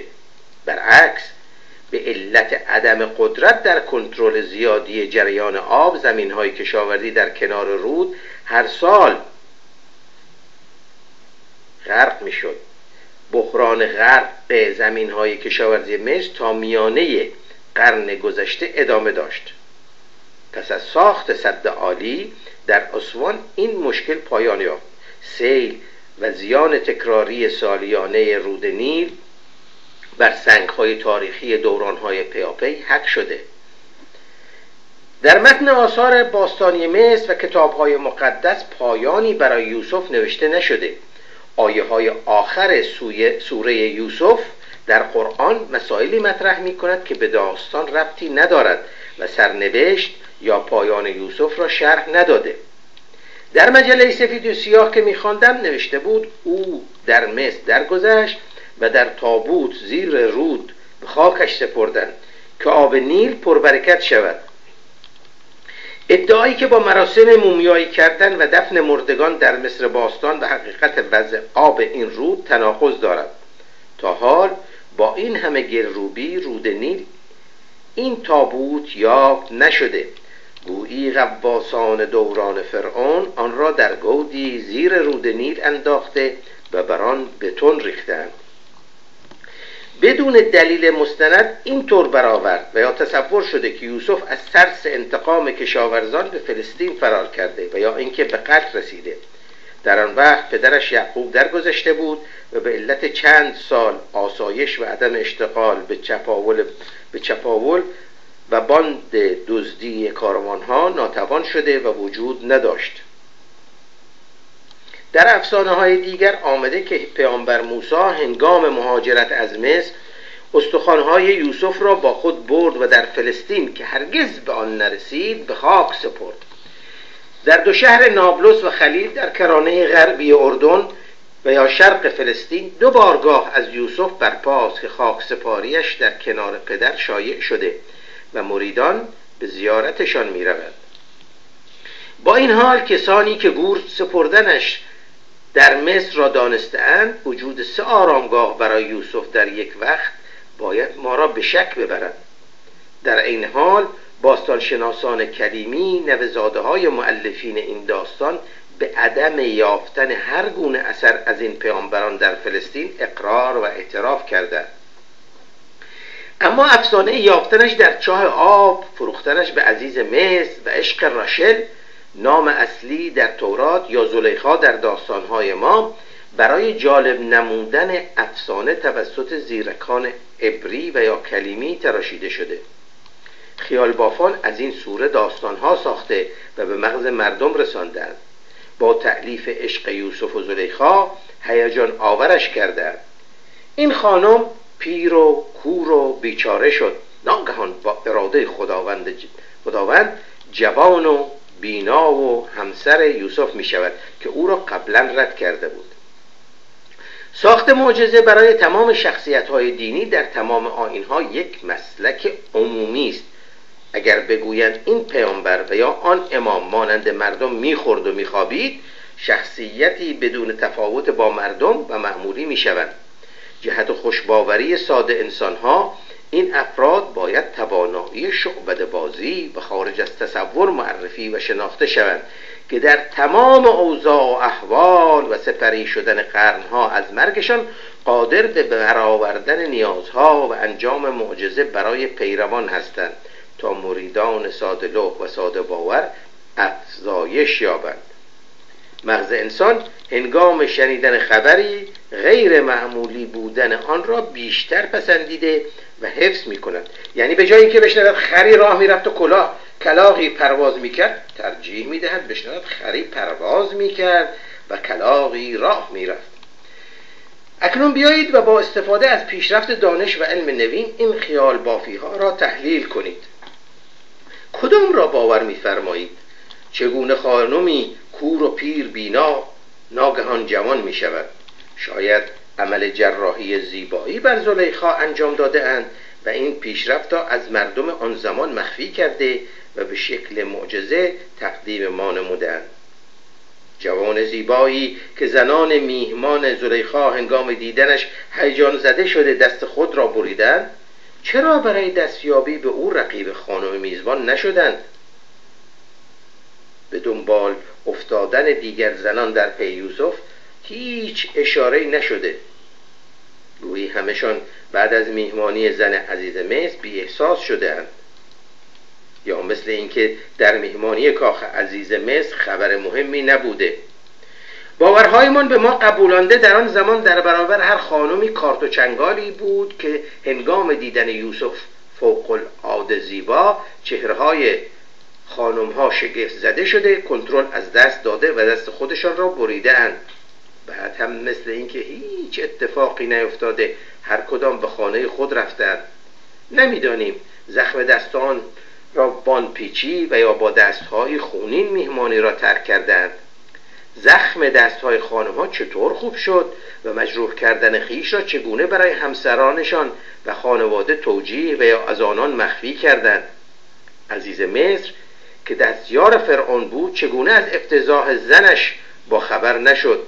یا جاسوسان خبرش نکردند و او بیحال بود و ترجیح داد افتضاح عشق زنش با زیباروی کنعان را مخفی نماید. اصلا این از آقا چه نقشی در داستان داشت؟ یا مردی بی ارزه بود که با پارتی بازی و یا به علت زیبایی زنش صاحب منصب شده بود؟ پس از افتضاح عشق زلیخا بر سر ایشان چه آمد؟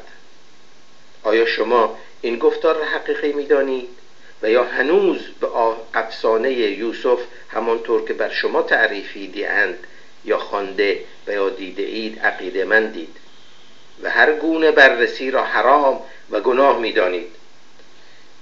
امیدوارم بیندیشید و سرگیجی نگرفته و پوزش این گوینده را بپذیرید. خیلی ممنون. با سلام و درودی نو گفتار عقل بشر شماره 31 را تقدیم می کنم ببخشید در این گفتارها بارها شنیده اید که معیارها از بله. ممنون از این دوستمون و اجازه بدید که برگردیم استدیوی جهانی تلویزیون مردم.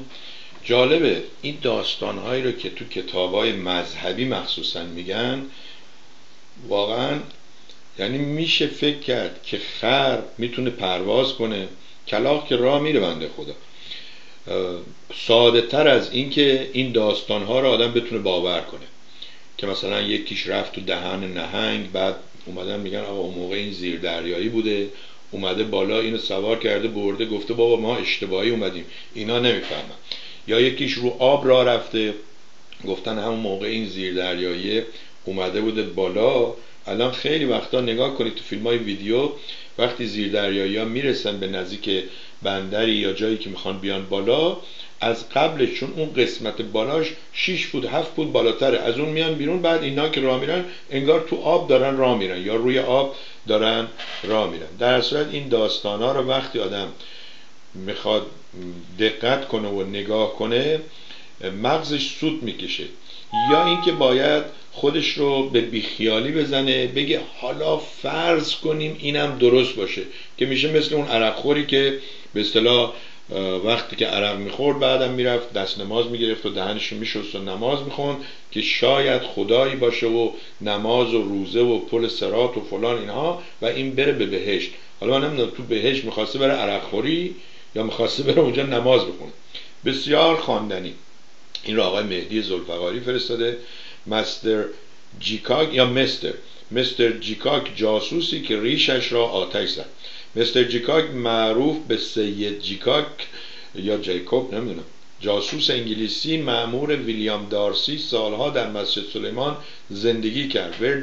وی در آغاز به عنوان چوپانی کر و لال به مدت هفت سال در ایل بختیاری به آموختن فرهنگ و زبان بختیاری می‌پردازد و پس از فراگیری آن به عنوان یک بختیاری در منطقه نفتخیز مسجد سلیمان سکنا میگزیند. در طول حضور خود در آن منطقه با فنون شعبد بازی و حربه های دیگر همین چیزی که این دوستمون گفت از خلیج فارس. اینایی که می‌خوان از مردم عادی بگن ما بالاتریم مجبورن یک نمایشی یک دقلی یک شعبد بازی جور کنن. جا می‌زند. جیکاک برای این کار ابتدا به فراگیری فقه می‌پردازد. تمام شعبد بازی ها از اونجا شروع میشه. چون بهت یه چیزی رو میفروشن که وجود نداره و بابتش پول خوبی هم می‌گیرن. نه پسش می‌تونی بدی نه می‌تونی بری بگی آقا من می‌خوام الان برم بهش. میگه خب برو بمیر تا زودتر بریم در طول حضور خود در آن منطقه بل با فنون اینها در طول حضور خود در آن منطقه توجه مردم محلی را اینها فراگیری فهم میپرزد و به درجه اجتهاد رسیده و در مساجد به عنوان پیشنماز حضور مییابد. او گیوه هایش را با یک اشاره عصا جفت می‌کرد و شایع کرده بود که این از معجزات اوست. در کتاب خاطراتش توضیح می‌دهد که آهن ربایی در گیوه هایم قرار داده بودم که با اشاره عصا گیوه ها جفت می این جاسوس انگلیسی روزی به مسجد می آید و می‌گوید من حضرت علی علیه السلام را در خواب دیدم و او دستش را بر شانه هم نهاد و به من فرمود به مردم بگو از این ماده سیاه و نجس یعنی نفت دوری کنند و برای اثبات ادعایش پیراهن و عبایش را کنار می‌زند و اثر سفیدی دستی روی شانهش را نشان می‌دهد و می‌گوید این مدرکی بر حقانیت من. او در کتابش تشریح می‌دهد تشریح می‌کند که روزی تکه کاغذ را به شکل دست بریدم و روی شانه هم قرار دادم و آنقدر زیر آفتاب داغ جنوب ماندم تا خوب اطراف این کاغذ تیره شود و اثر دست بر شانه هایم نقش ببندد. همچنین در منظره در منظره یا مناظره با یک آخوند شیعه مدعی آتش گرفتن ریش دروغگو می شود و با استفاده از ریش مصنوعی از نخ نسوز حقانیت خود را ثابت می کند جیکاک در آخر در اواخر دهه 1320 خورشیدی فرقه ای را در منطقه بختیاری بویر احمد و خوزستان ایجاد می کند که طلوعیان یا سروشیان نامیده می شدند و به تو توقیت قریب الوقوع ظهور مهدی معتقد بودند. اینم معروفترین شعر او. شما که عشق علی می مین دلتونه نفت ملی سیچیتونه آه این لوری داره میگه. آها شما که عشق علی مین, مین توی تو قلبتونه نفت ملی دیگه سیچتونه برای چی می‌خوان منافع تار... منبع این گفتار یا نوشتار تاریخ سیاسی اجتماعی ایل بختیار اثر راف گارتویت ترجمه مهراب امیری تهران سهن. پس شاید این آقای سروش هم از همین سروشیان بوده و ماجرای این دقلبازی و اینها بله یک داستان دوم و درازی هست که توی تاریخ بوده و هست و متاسفانه نمی‌دونیم تا کی هم خواهد بود. و اما ببینیم که اینجا چی گذاشتیم. نمی‌دونم که چرا تا این رو ما تغییر میدیم. این حالش بد میشه و وای میسه ثابت میشه. یادم سالها پیش آقای میبودی به من گفت آقا این همین کتابخونه ای که این پشت سرت داری خیلی قشنگه. فکر کنم منظورش این بود که همین چند تا کتاب بسه برای تظاهر به اینکه آدمی هستی کتابی می‌خونی اینها. و اما راجع به علی صالح بهتون گفتم سیاستمدار و حکفر حکران ایشون دوستمون از خلیج فارس نوشته که سیاستمدار و حکران نمی‌تواند از پلیدی دور باشد. از کشتار و دروغ نمی‌تواند بگریزد.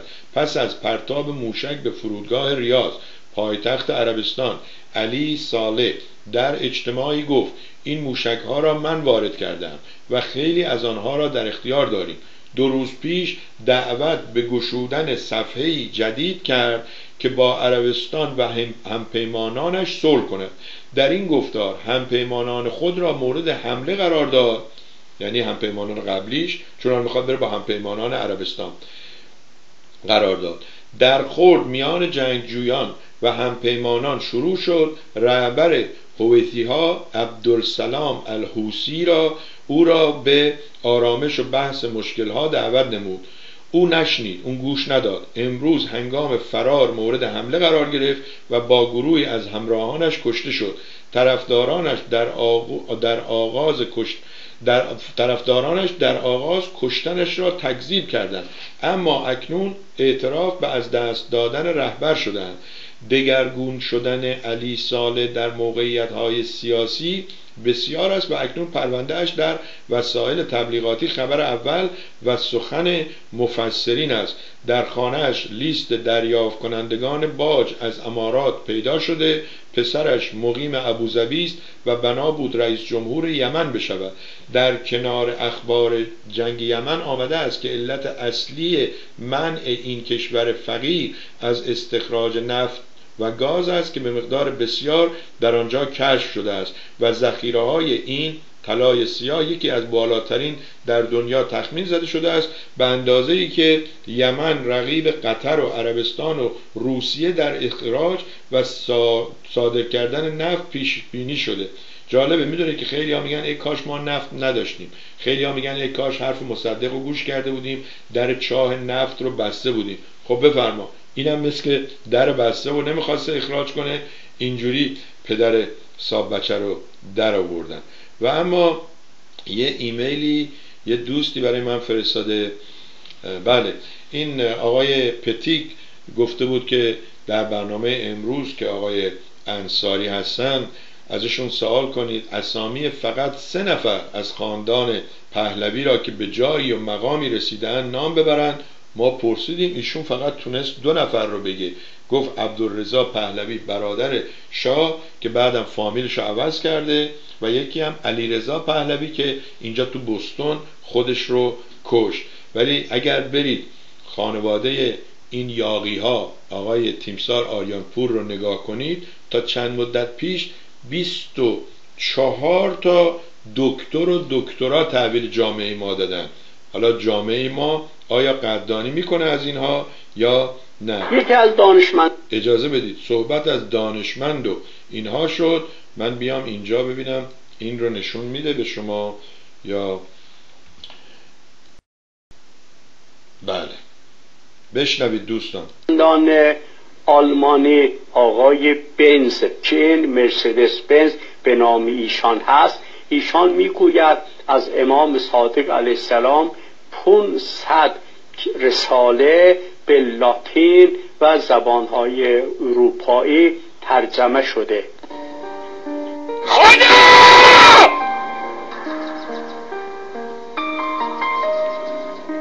خدا! یکی از دانشمندان آل... واقعا بعض وقتا آدم دلش می‌خواد که فریاد بزنه. آیا شما هم همچین حالی رو داشتید یا نه؟ خب ممنونم از دوستی که این رو فرستاده بود. باز متاسفانه این تصویر ما راستی چرا اینجوری میشه؟ وقتی یه تصویر رو می‌کشیم نمیاد. سمود نیست. درگ می‌کنه تیک تیکه به این صورت می‌کشه. بذارید نشون بدم. شاید شما به ما بگید که چرا. می‌بینید؟ مثلا این یه دریچه است که ما کشیدیم آورد درگش کردیم آوردیم اینجا. اینجوری مثل صد تا دریچه شده. در صورت اون چیزی دونم کامپیوتر ما که ویندوز 7 و ویندوز 10 داره حتی شکل ظاهریش رو هم عوض کرده و به صورت ویندو XP عمل می‌کنه. ویندو XP من می‌تونم بگم یکی از بهترین ویندوهایی بود که مخصوصا تو کار media تو کار استودیو تو کار editing ازش استفاده می‌کردن. متاسفانه بعدا ویستا آمد افتضا بعدا 7 آمد خوب بود که جایگزین همون XP شد. گفتن پایه و اساس و به اصطلاح پلتفرمش همونه. ولی بعد هشت اومد نو دیگه از آب بی درست نکردن. ده اومد و ده هم تعریفی نداره. البته میگن خیلی سریع خیلی فست باز میشه ولی فستیش تو سرشون بخوره وقتی که انقدر درد سر درست می‌کنه. اجازه بدید من اینو ببندم. مثلا این اینترنت چیز هی برای ما هنگات رو باز می‌کنه هی باید بریم ساین آوت کنیم. آقا نخواستیم. سروی ضد پهلوی تو بابات واسه ایران چه کردی؟ نه من اینجوری با شما صحبت نمی کنم آقای فرزاد آزاد. شما اگر شهامت داشتی شجاعت داشتی صداقت داشتی بیا با اسکایپ مهمون من باش. تا من برات بگم که تمام این خیابونای سعادت آبادی که میری این درختای دو طرفش رو پدر من به اصطلاح برده اونجا. تا من بهت بگم نمی‌خوام بگم نصف جاده های ایران رو ولی خیلی جاده های ایران رو پدر بنده و پدر پتیک و پدر آقارزا و دیگران براشون نفت بردن کار کردن. و بدبخت بیچاره بی سواد نادان عقب افتاده برو ببین آقا این شاه شما دیپلم هم نداشته. خاک بر سر. تو قرن بیستم قرن بیست یکم شما دنبال کسی هستی که دیپلم که نداشته تو سرش بخوره. شجاعت که نداشته تو سرش بخوره. شهامت که نداشته تو سرش بخوره. دانش که نداشته تو سرش بخوره. بیلیاقتی پنجاه و هفت سال یک کشوری با این همه پول نفت دستت باشه بعد دو دستی بدیش با آخوندات در بری. شمایی که خودتون رو فرزند پهلوی می‌دونید باید از این بابای قرمساقتون سوال کنی. چرا رفت و مادرتون ایران رو دست دست آخوندا که بگاینش؟ چرا دهن من واز می‌کنی آخه؟ احمق من 20 ساله دارم با شما سرکله می‌زنم. تو چند سالته؟ تو چند تا کتاب خوندی؟ تو چند تا داستان بلدی؟ چه کسی به غیر از بابای دروغگو که احتمالا دوز بوده زمان پهلوی و احتمالا اون یکی از دلایل انقلاب بوده تو گوش تو مثل یاسین خونده؟ برو دوتا کتاب بخون برو بشین پای دوتا حرف مخالف ببین مخالفات چی میگن؟ مشکل شاه این بود که از ترسش از عقب افتادگیش از بیسوادیش مذهبی بود. و چون مذهبی بود ابا نمی‌دونم دعا و نمک و اسفند و فلان مادرش به بازوش بسته بود. نمی‌دونم باید پیزور می‌کردن فلانجاش می‌خواست سوار هواپیمای بوینگ آمریکایی و فرانسوی و این ور بشه باید یه نفر تو گوشش یاسین می‌خوند. شاه اسلام پناه. آخه احمق کاری نکن از چیز بندازمت بیرون فعلا. نگهت میدارم تا ببینم بلکه آدم بشی. آدم نشی میری بیرون. okay. ببینیم که Google Voice رو گوش دادیم. فرخ عزیز بود. منتظر پیام های دیگت خواهیم بود. و اما کاش من هم فریاد میکشیدم نشون دادم اون ویدیو رو. این آقا میگه بنز که اسم یه دانشمندی اولا مرسدس بنز اسم دوست دخترش بوده گذاشته روی ماشین. و من فکر نمی کنم اون از حضرت صادق. ولی ببین اونم فردا لابد یه نفر مثل این میاد میگه آقا نگاه کن اسلام ببین حضرت صادق 500 تا دانشنامه و 500 تا تز و اینا نوشته و فلان. و اما today's world view میگه که the crisis in Honduras should matter to the US هاندورس شروع شده. این هاندورس همین نیست اسمش عوض کردن کردن بلیز. من نمی‌دونم. این سعید میره این کشورهای مکزیک و فلان اینها. باید ازش سوال کنیم. گواتمالا هست که پایین مکزیکا هست نه خیلی وضع خراب اونجا هم اینم از این. بله. میگه و باز پاچگیری شاه ها. این پاچگیری یعنی مثل سگ میان پاچ پای آدم رو می‌گیرن. ولی اگه بلد باشید دوستان با سگ سگ حیوان بسیار خوبی. و اگر دو سه روز پیش نگاه کنید برنامه منو یکی از سگای ما که 15 سال عمر کرد و 15 سال برای سگای بزرگ خیلیه. یعنی 15 تا 70 میشه 105 سال انسان. و وقتی مرد من واقعا تو برنامه اصلا حالم چیز شد دگرگون شد.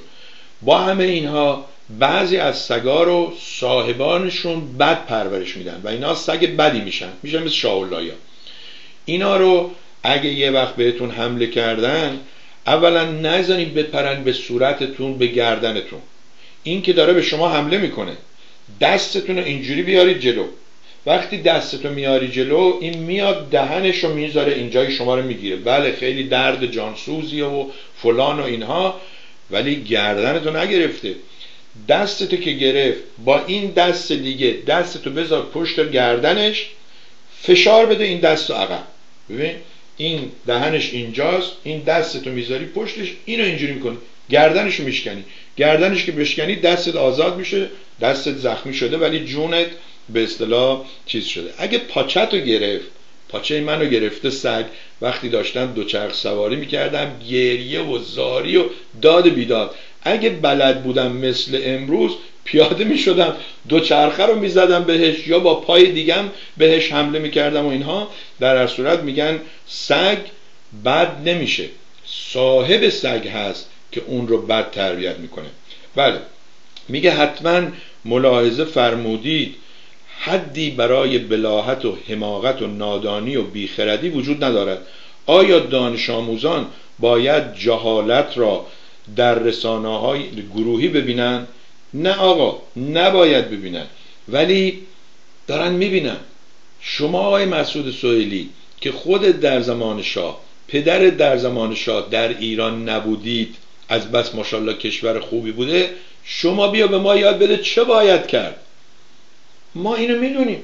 اون آخونده که میاد میگه مرسدس بنز صاحب 600 تا از امام جعفر فلان یاد گرفته یا این آقا؟ بشنویم ببینیم این یکی چی میگه.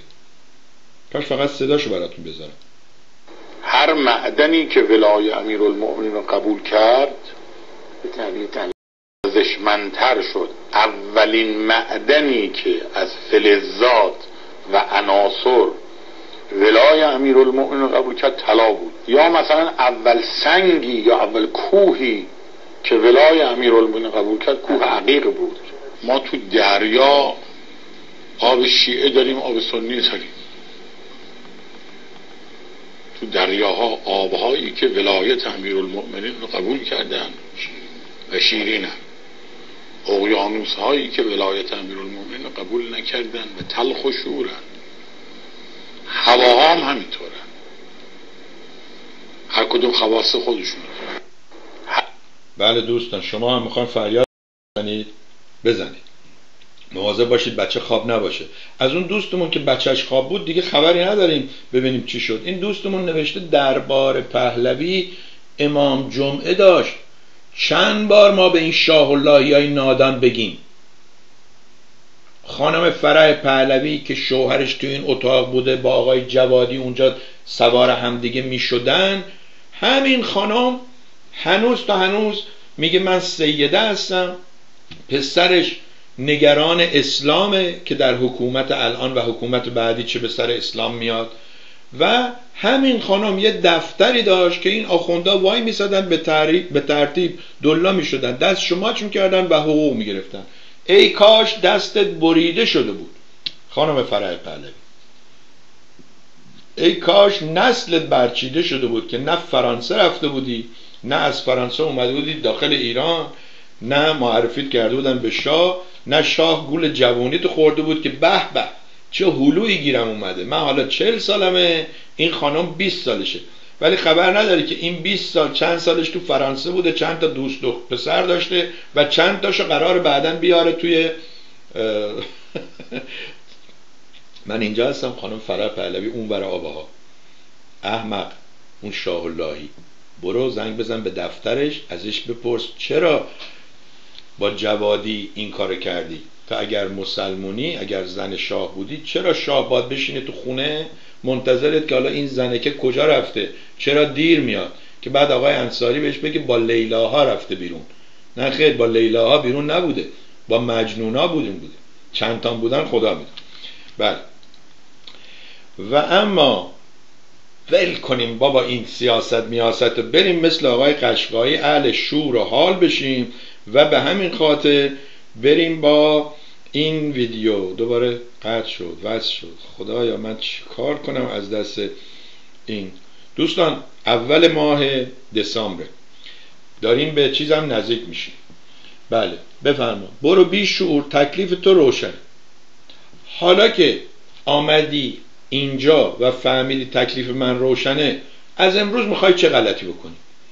تا دیروز چه اقدامی کردی برای آزادی ایران؟ برو از امروز ایران آزاد کن. حالا ببینم میری؟ نمیری. تو وجود نداری. تو مثل شاهد هستی. شاه ترسو دوز کم سواد نالایه پوفیوز پرحرف جاه طلب. تو هم مثل اون هستی. عاقبت چی شد؟ یک سالگی. حالا یا قتل سیاسی یا سرطان خون. نمیگم بگم امیدوارم سرطان خون نصیب بشه. امیدوارم سرطان آگاهی بیاد سراغت. ببینیم می‌تونیم اینو باز کنیم. A problem with this web page caused Internet Explorer to close and reopen the tab.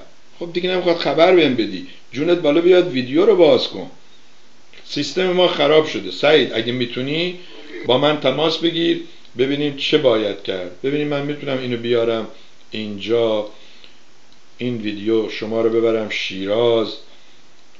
من خیلی امروز اعصابم خورد شده. و آمریکایی ها میگن دیگه میگن آخرین چیزی که ما کم داشتیم یه دو تا خرمگس شاه اللهی بود که بیان اینجا. گوش بدین با هم.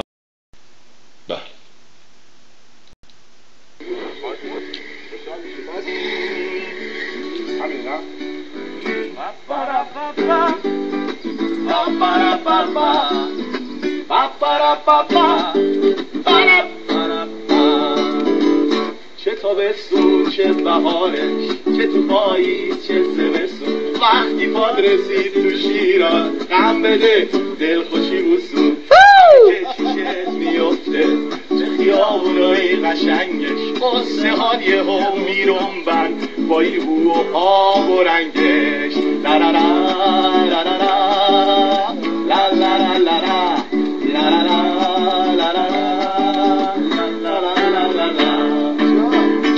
مردمونش همه ماکن اینجا مثل یه بهشته. هنر از اینجا شروع شد. حافظ اینجا شعر نوشته. صفحه هاشون همه پهنه. پر عشق تا همیشه. کل فصل بودوی تو دنیا بو کلم بلو نمیشه. هر جاره بری بگردی نمیجوری مثل شیراز. شانزلیز پای هرم نیست. تاریخت اینطوری دلواز.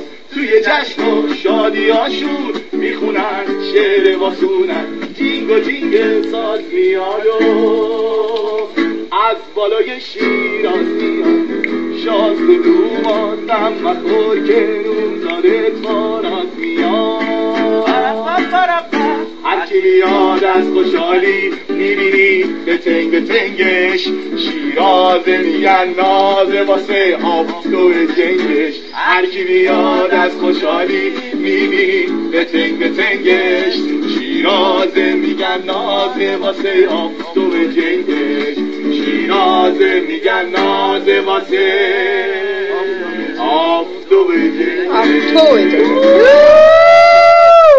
دمتون گرم. همیشه شاد و خندان باشید. خوش. و دوستان شما خوب این ورور می‌بینید. بفرستید. فرستادن معنیش این نیست که ما باید نشون بدیم. اگه ویدیوی خوبی باشه مناسب حال و اوضاع برنامه باشه اون وقت نشون میدیم. متوجه شدم دو سه تا به اصطلاح کلمات شیرازی مثلا الان دیگه عوض شده مثلا بیری یعنی بری اینا میگن. یا آفتاب همون موقع هم که ما تو شیراز بودیم دیگه خیلی ها نمی‌گفتن آفتاب می‌گفتن آفتاب. ولی این همون خوبی زبانه. این از این. بریم سراغ آقای سعید امیدی. امثال شما فسیل های 57 این رو به اینجا ایران رو به اینجا به این روز انداختن. باز از بی سوادی داری حکایت می‌کنی. من معمور حکومت نظامی در هوابرد شیراز در قسمت سپیشل فورس یا نیروهای مخصوص بودم که با شهربانی شیراز همکاری می‌کردن. شاه شما و همسر هرزه شاه ایران رو به این روز انداخت. شما آقای سعید امیدی یه بار من فکر کنم با شما صحبت کردم اگه همون امیدی باشی. اگر فکر می‌کنی واقعا شعور داری. قبل از اینکه با یه تیپا اونم با کفش اینجا می‌دونی وقتی میای آمریکا اولین کاری که می‌کنی باید یه دونه پوتین کبوی یا گاوچرونی بخری. راستی شنیدم برای پادردم خوبه چون یه اینچ و نیم دو اینچ پاشنه داره. باورتون میشه بعضی وقتا اگر ساعت زیادی کفش های راحتی و اینا میپوشید بدن آدم یعنی کمردرد و پادرد از کفش های کف تخت گرفته. در هر صورت آقای امیدی دوست عزیز اینجوری نیست که هر کی هر چی گو شما هی بگی شما فسیلا. اولا وقتی من 61 سالم فسیلم یعنی شما جوونی. okay. اگر ما تونستیم انقلاب کنیم که من انقلاب نکردم من تو هوابرد بودم. okay. از خود احمقت بپرس. چجوری این سربی فسیل تونست؟ ما نتونستیم. پس عقب افتاده هستی بیچاره. پس نادان هستی بیچاره. پس رهبر نداری خاک بر سر. رضا پهلوی تنبله عقب افتاده. فشتون بدم از صبح تا از خوشتون میاد. شما جونتون میخواره البته ناگفته نمانه. بعضی از دوستان میگن آقای سربی. به خدا بعضی از اینا چیز هستن طرفدار آخونده هستن. میان به شما این چیزها رو میگن. تا شما عصبانی بشی برای شاه ها بد بگی. دوستان شاه اگه شما فکر می‌کنید اینا آدمایی هستن که طرفدار مثلا این سعید امیدی طرفدار نه نه عزیز دل شما به شاه خیانت کردی. آخر ریدم به قبر پدرت. من میگم من سرباز حکومت نظامی بودم. تو میگی خیانت کردی. شاه خیانت کرد که مامورای خودش رئیس نمی‌دونم ستاد ارتش رئیس ساواک نخست وزیر خودشو داد دست این آخوندهای جاکش. اونا یکی یکی کشتن. اون در رفت رفت که زنشو ببره بده به سلطان حسن نمی‌دونم مراکش که بعد پول بگیره. خفه شو. بعد از برنامه میام میندازمت بیرون. یا نه بذار همین الان بندازمت بیرون. چون شما رو باید همین الان کرد بیرون. هم کرد هم بیرون. خب ببخشید. بیا دوستان. آقای سعید امیدی. هری. کدومش هستی؟ سعید امیدی یکشی با زیرپیرنیه یکشی با شورت و تنکن. کدومش هستی؟ احمق خودتی مال من احمقم. تو دانشمند. تو یه دانشمند. چرا نشستی برنامه یه احمق رو نگاه می‌کنی؟ دوستان این فیسبوک وقتی من نوشتم که اینجا جاییه که هر چی عقده داریم بیاین خالی کنیم یه خانمی نوشته که نه من اتفاقا توی فیسبوک خیلی دوست پیدا کردم. می‌خوام بهش بگم خدایی اگه یکی از این دوستا امروز بهت بگه که من یه مشکلی برم پیش اومده تصادف کردم ماشینم مونده اگه 300 دلار نداشته باشم این ماشین رو درست کنم کار نمی‌تونم بکنم. اگه کار نکنم خونم رو از دست میدم. اگه کار نکنم دانشگاه نمی‌تونم برم. حاضری به این دوستای جونجونی روی فیسبوک 300 دلار بدی؟ اگه نمی‌تونی 300 دلار بدی نشون میده که دروغ میگی. برگردیم به آقای علی ترابی.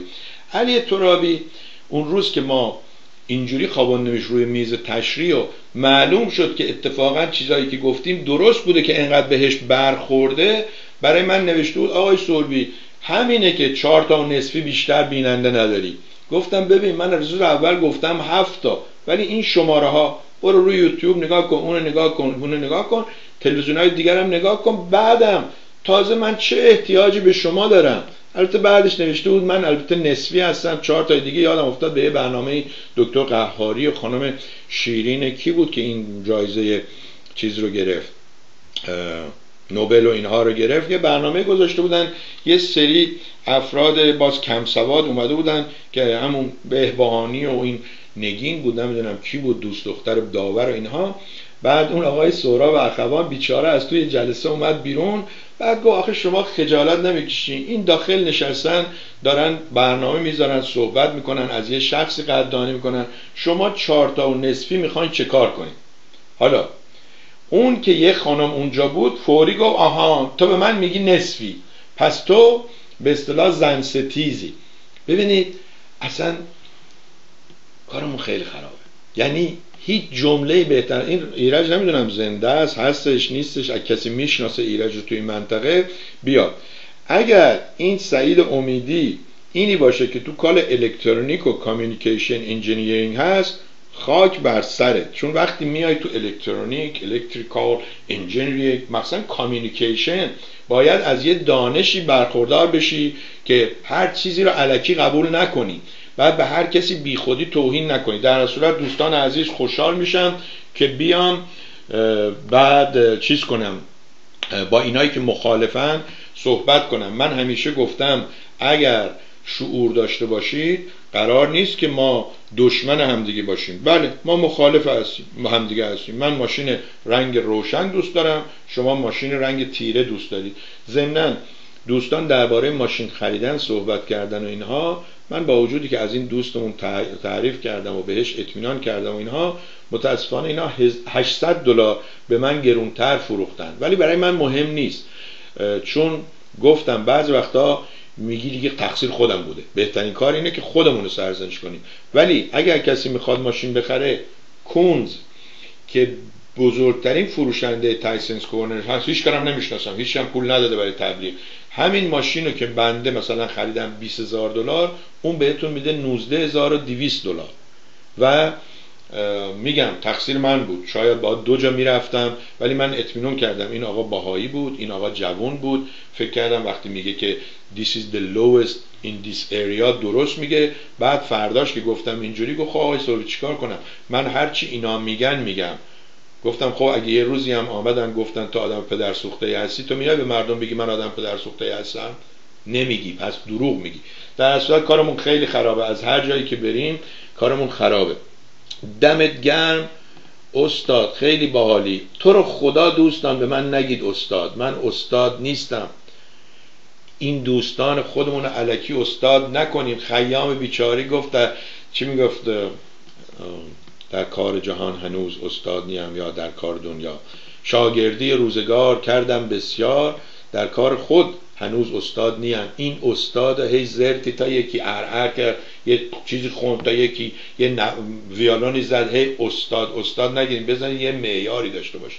این آقا دانش آموز مدرسه میره این آقا هنرجو هنرستان میره این آقا دانشجو دانشگاه میره این آقا دیپلم گرفته بهش میگن دیپلم این آقا لیسانس گرفته بهش میگن لیسانس این فوق لیسانس این مراحل رو بزن یه دفعه. هر کسی ازمون ازش خوشتون اومد نگید استاد. حالا از شما خواهش می‌کنم این کلمه رو پاک کن edit کن بنویس دمت گرم.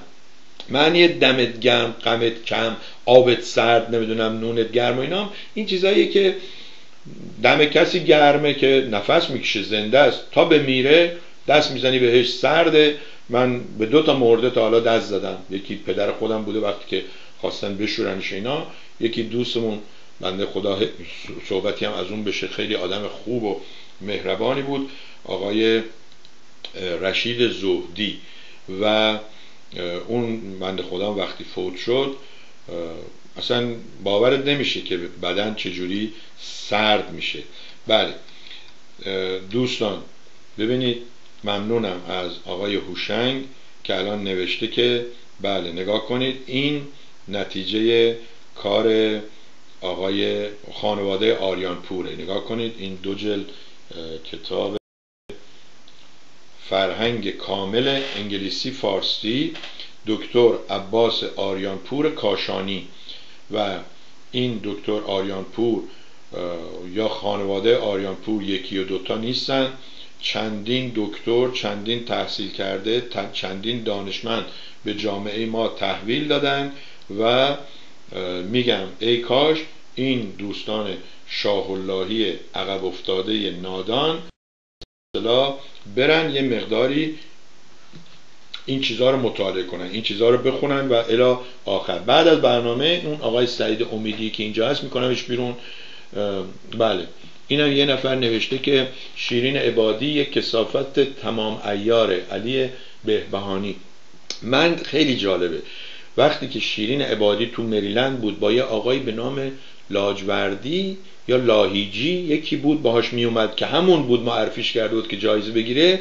به من گفتن یه مصاحبه با این خانم شیرین عبادی انجام بده. من گفتم اینجا میگن فیلینگ خوبی ندارم. یعنی من دلم راضی نیست احساس خوبی ندارم. باید صبر کنم این خانم رو بیشتر بشناسم. بعد دیدم که در طی زمان مثل اینکه از آزمایش و یا از اون بوته آزمایش بوته آزمایش بیرون نیامد درست.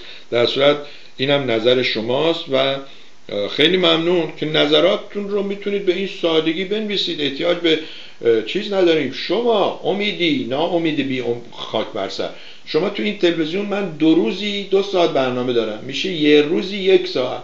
احمق 23 ساعت دیگهش بیا ارعر کن بعد بگو شاه شاه شاه شاه.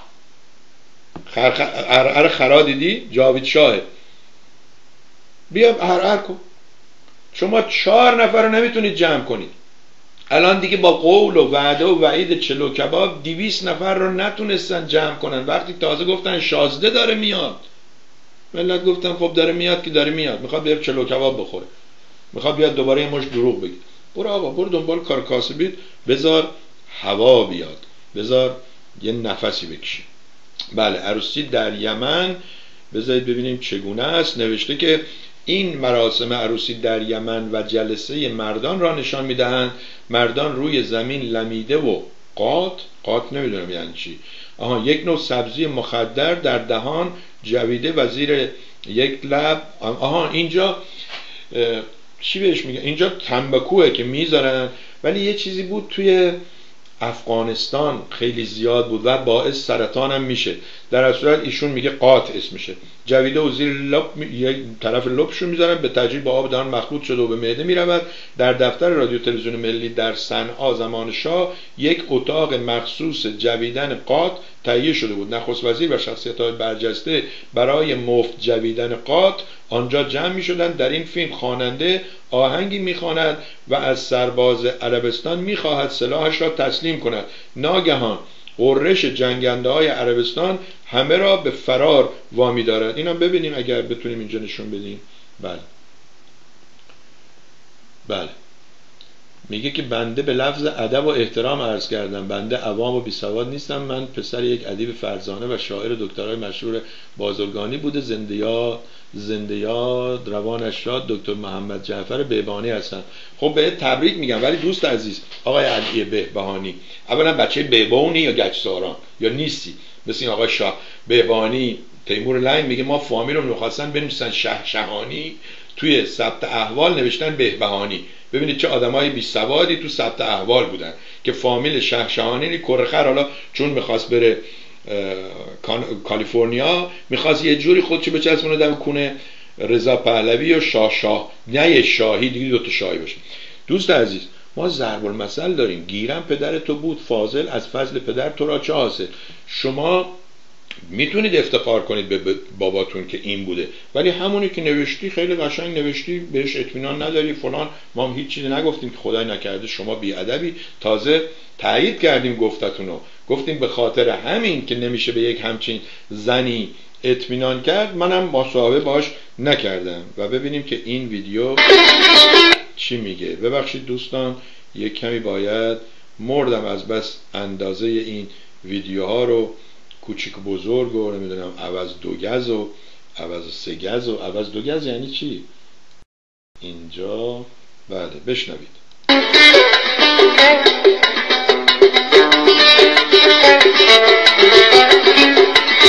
لابد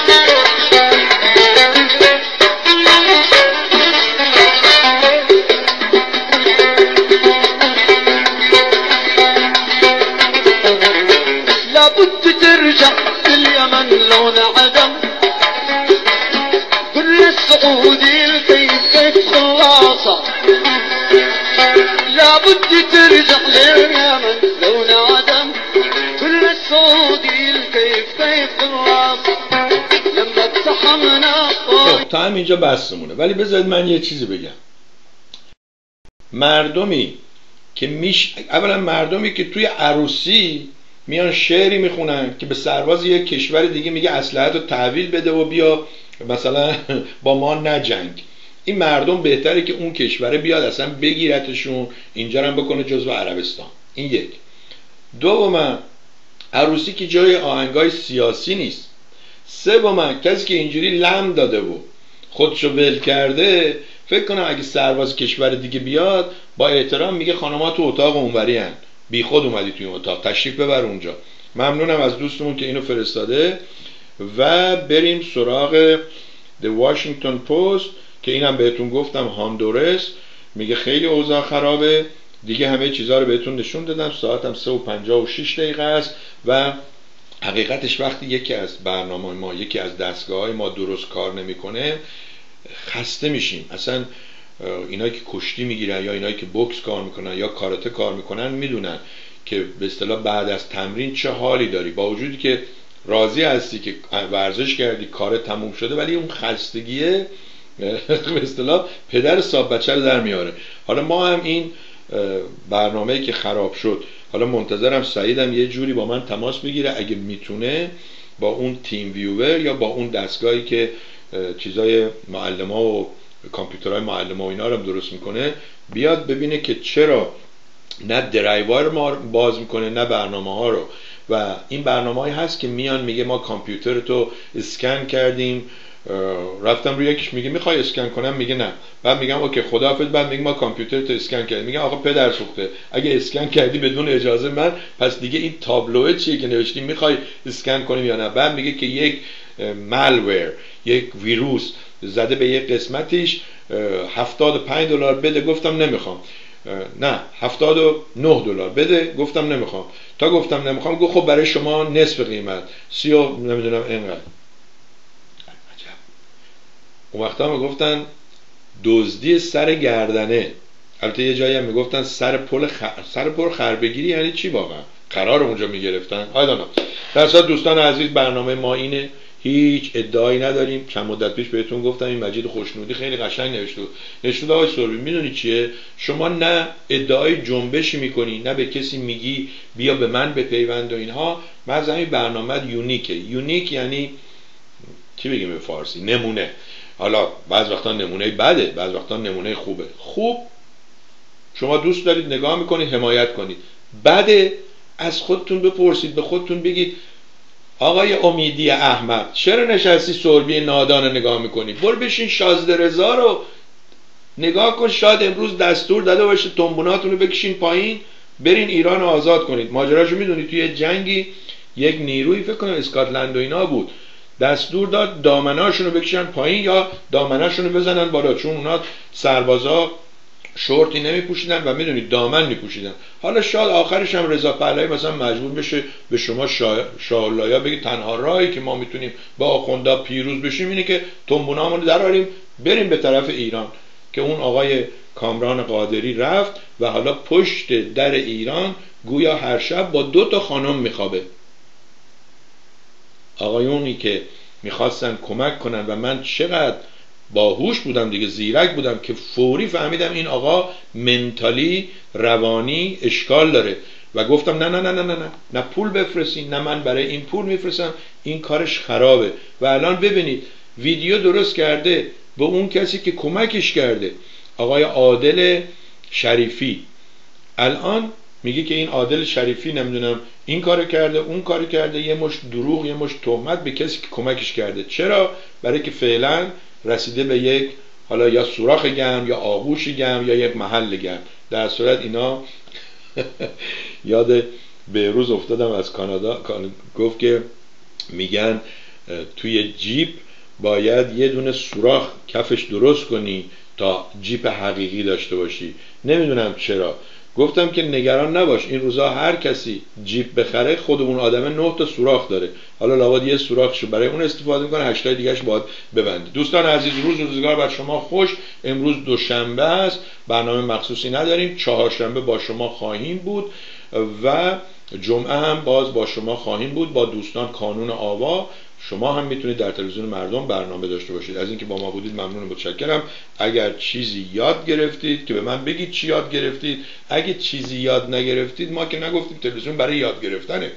دانشگاه برای یاد گرفتنه. مسجد برای یاد گرفتنه. کلیسا برای یاد گرفتنه. تلویزیون برای وقت تلف کردنه. باز از احمد از فلوریدا ممنونم. از همسر عزیز و گرامیش ممنون و متشکرم و بله من همیشه گفتم خانم ها باهوشتر از آقایون هستن. دلیلش هم اینه که آقایون رو می‌تونن بدون افسار نگه دارن. طرف گفت آقا حرف آخر رو ما مردا باید بزنیم. همه گفتن آقا مگه میشه؟ گفت والا من این کار کردم. چل سال خیلی هم خوشبختم. گفتن خب چی میگی؟ چه کار می‌کنی؟ گفت هرچی همسرم میگه من میگم چشم. چشم. دوستان عزیز روز روزگارتون خوش. مرسی که با ما بودید. خدا نگهدار.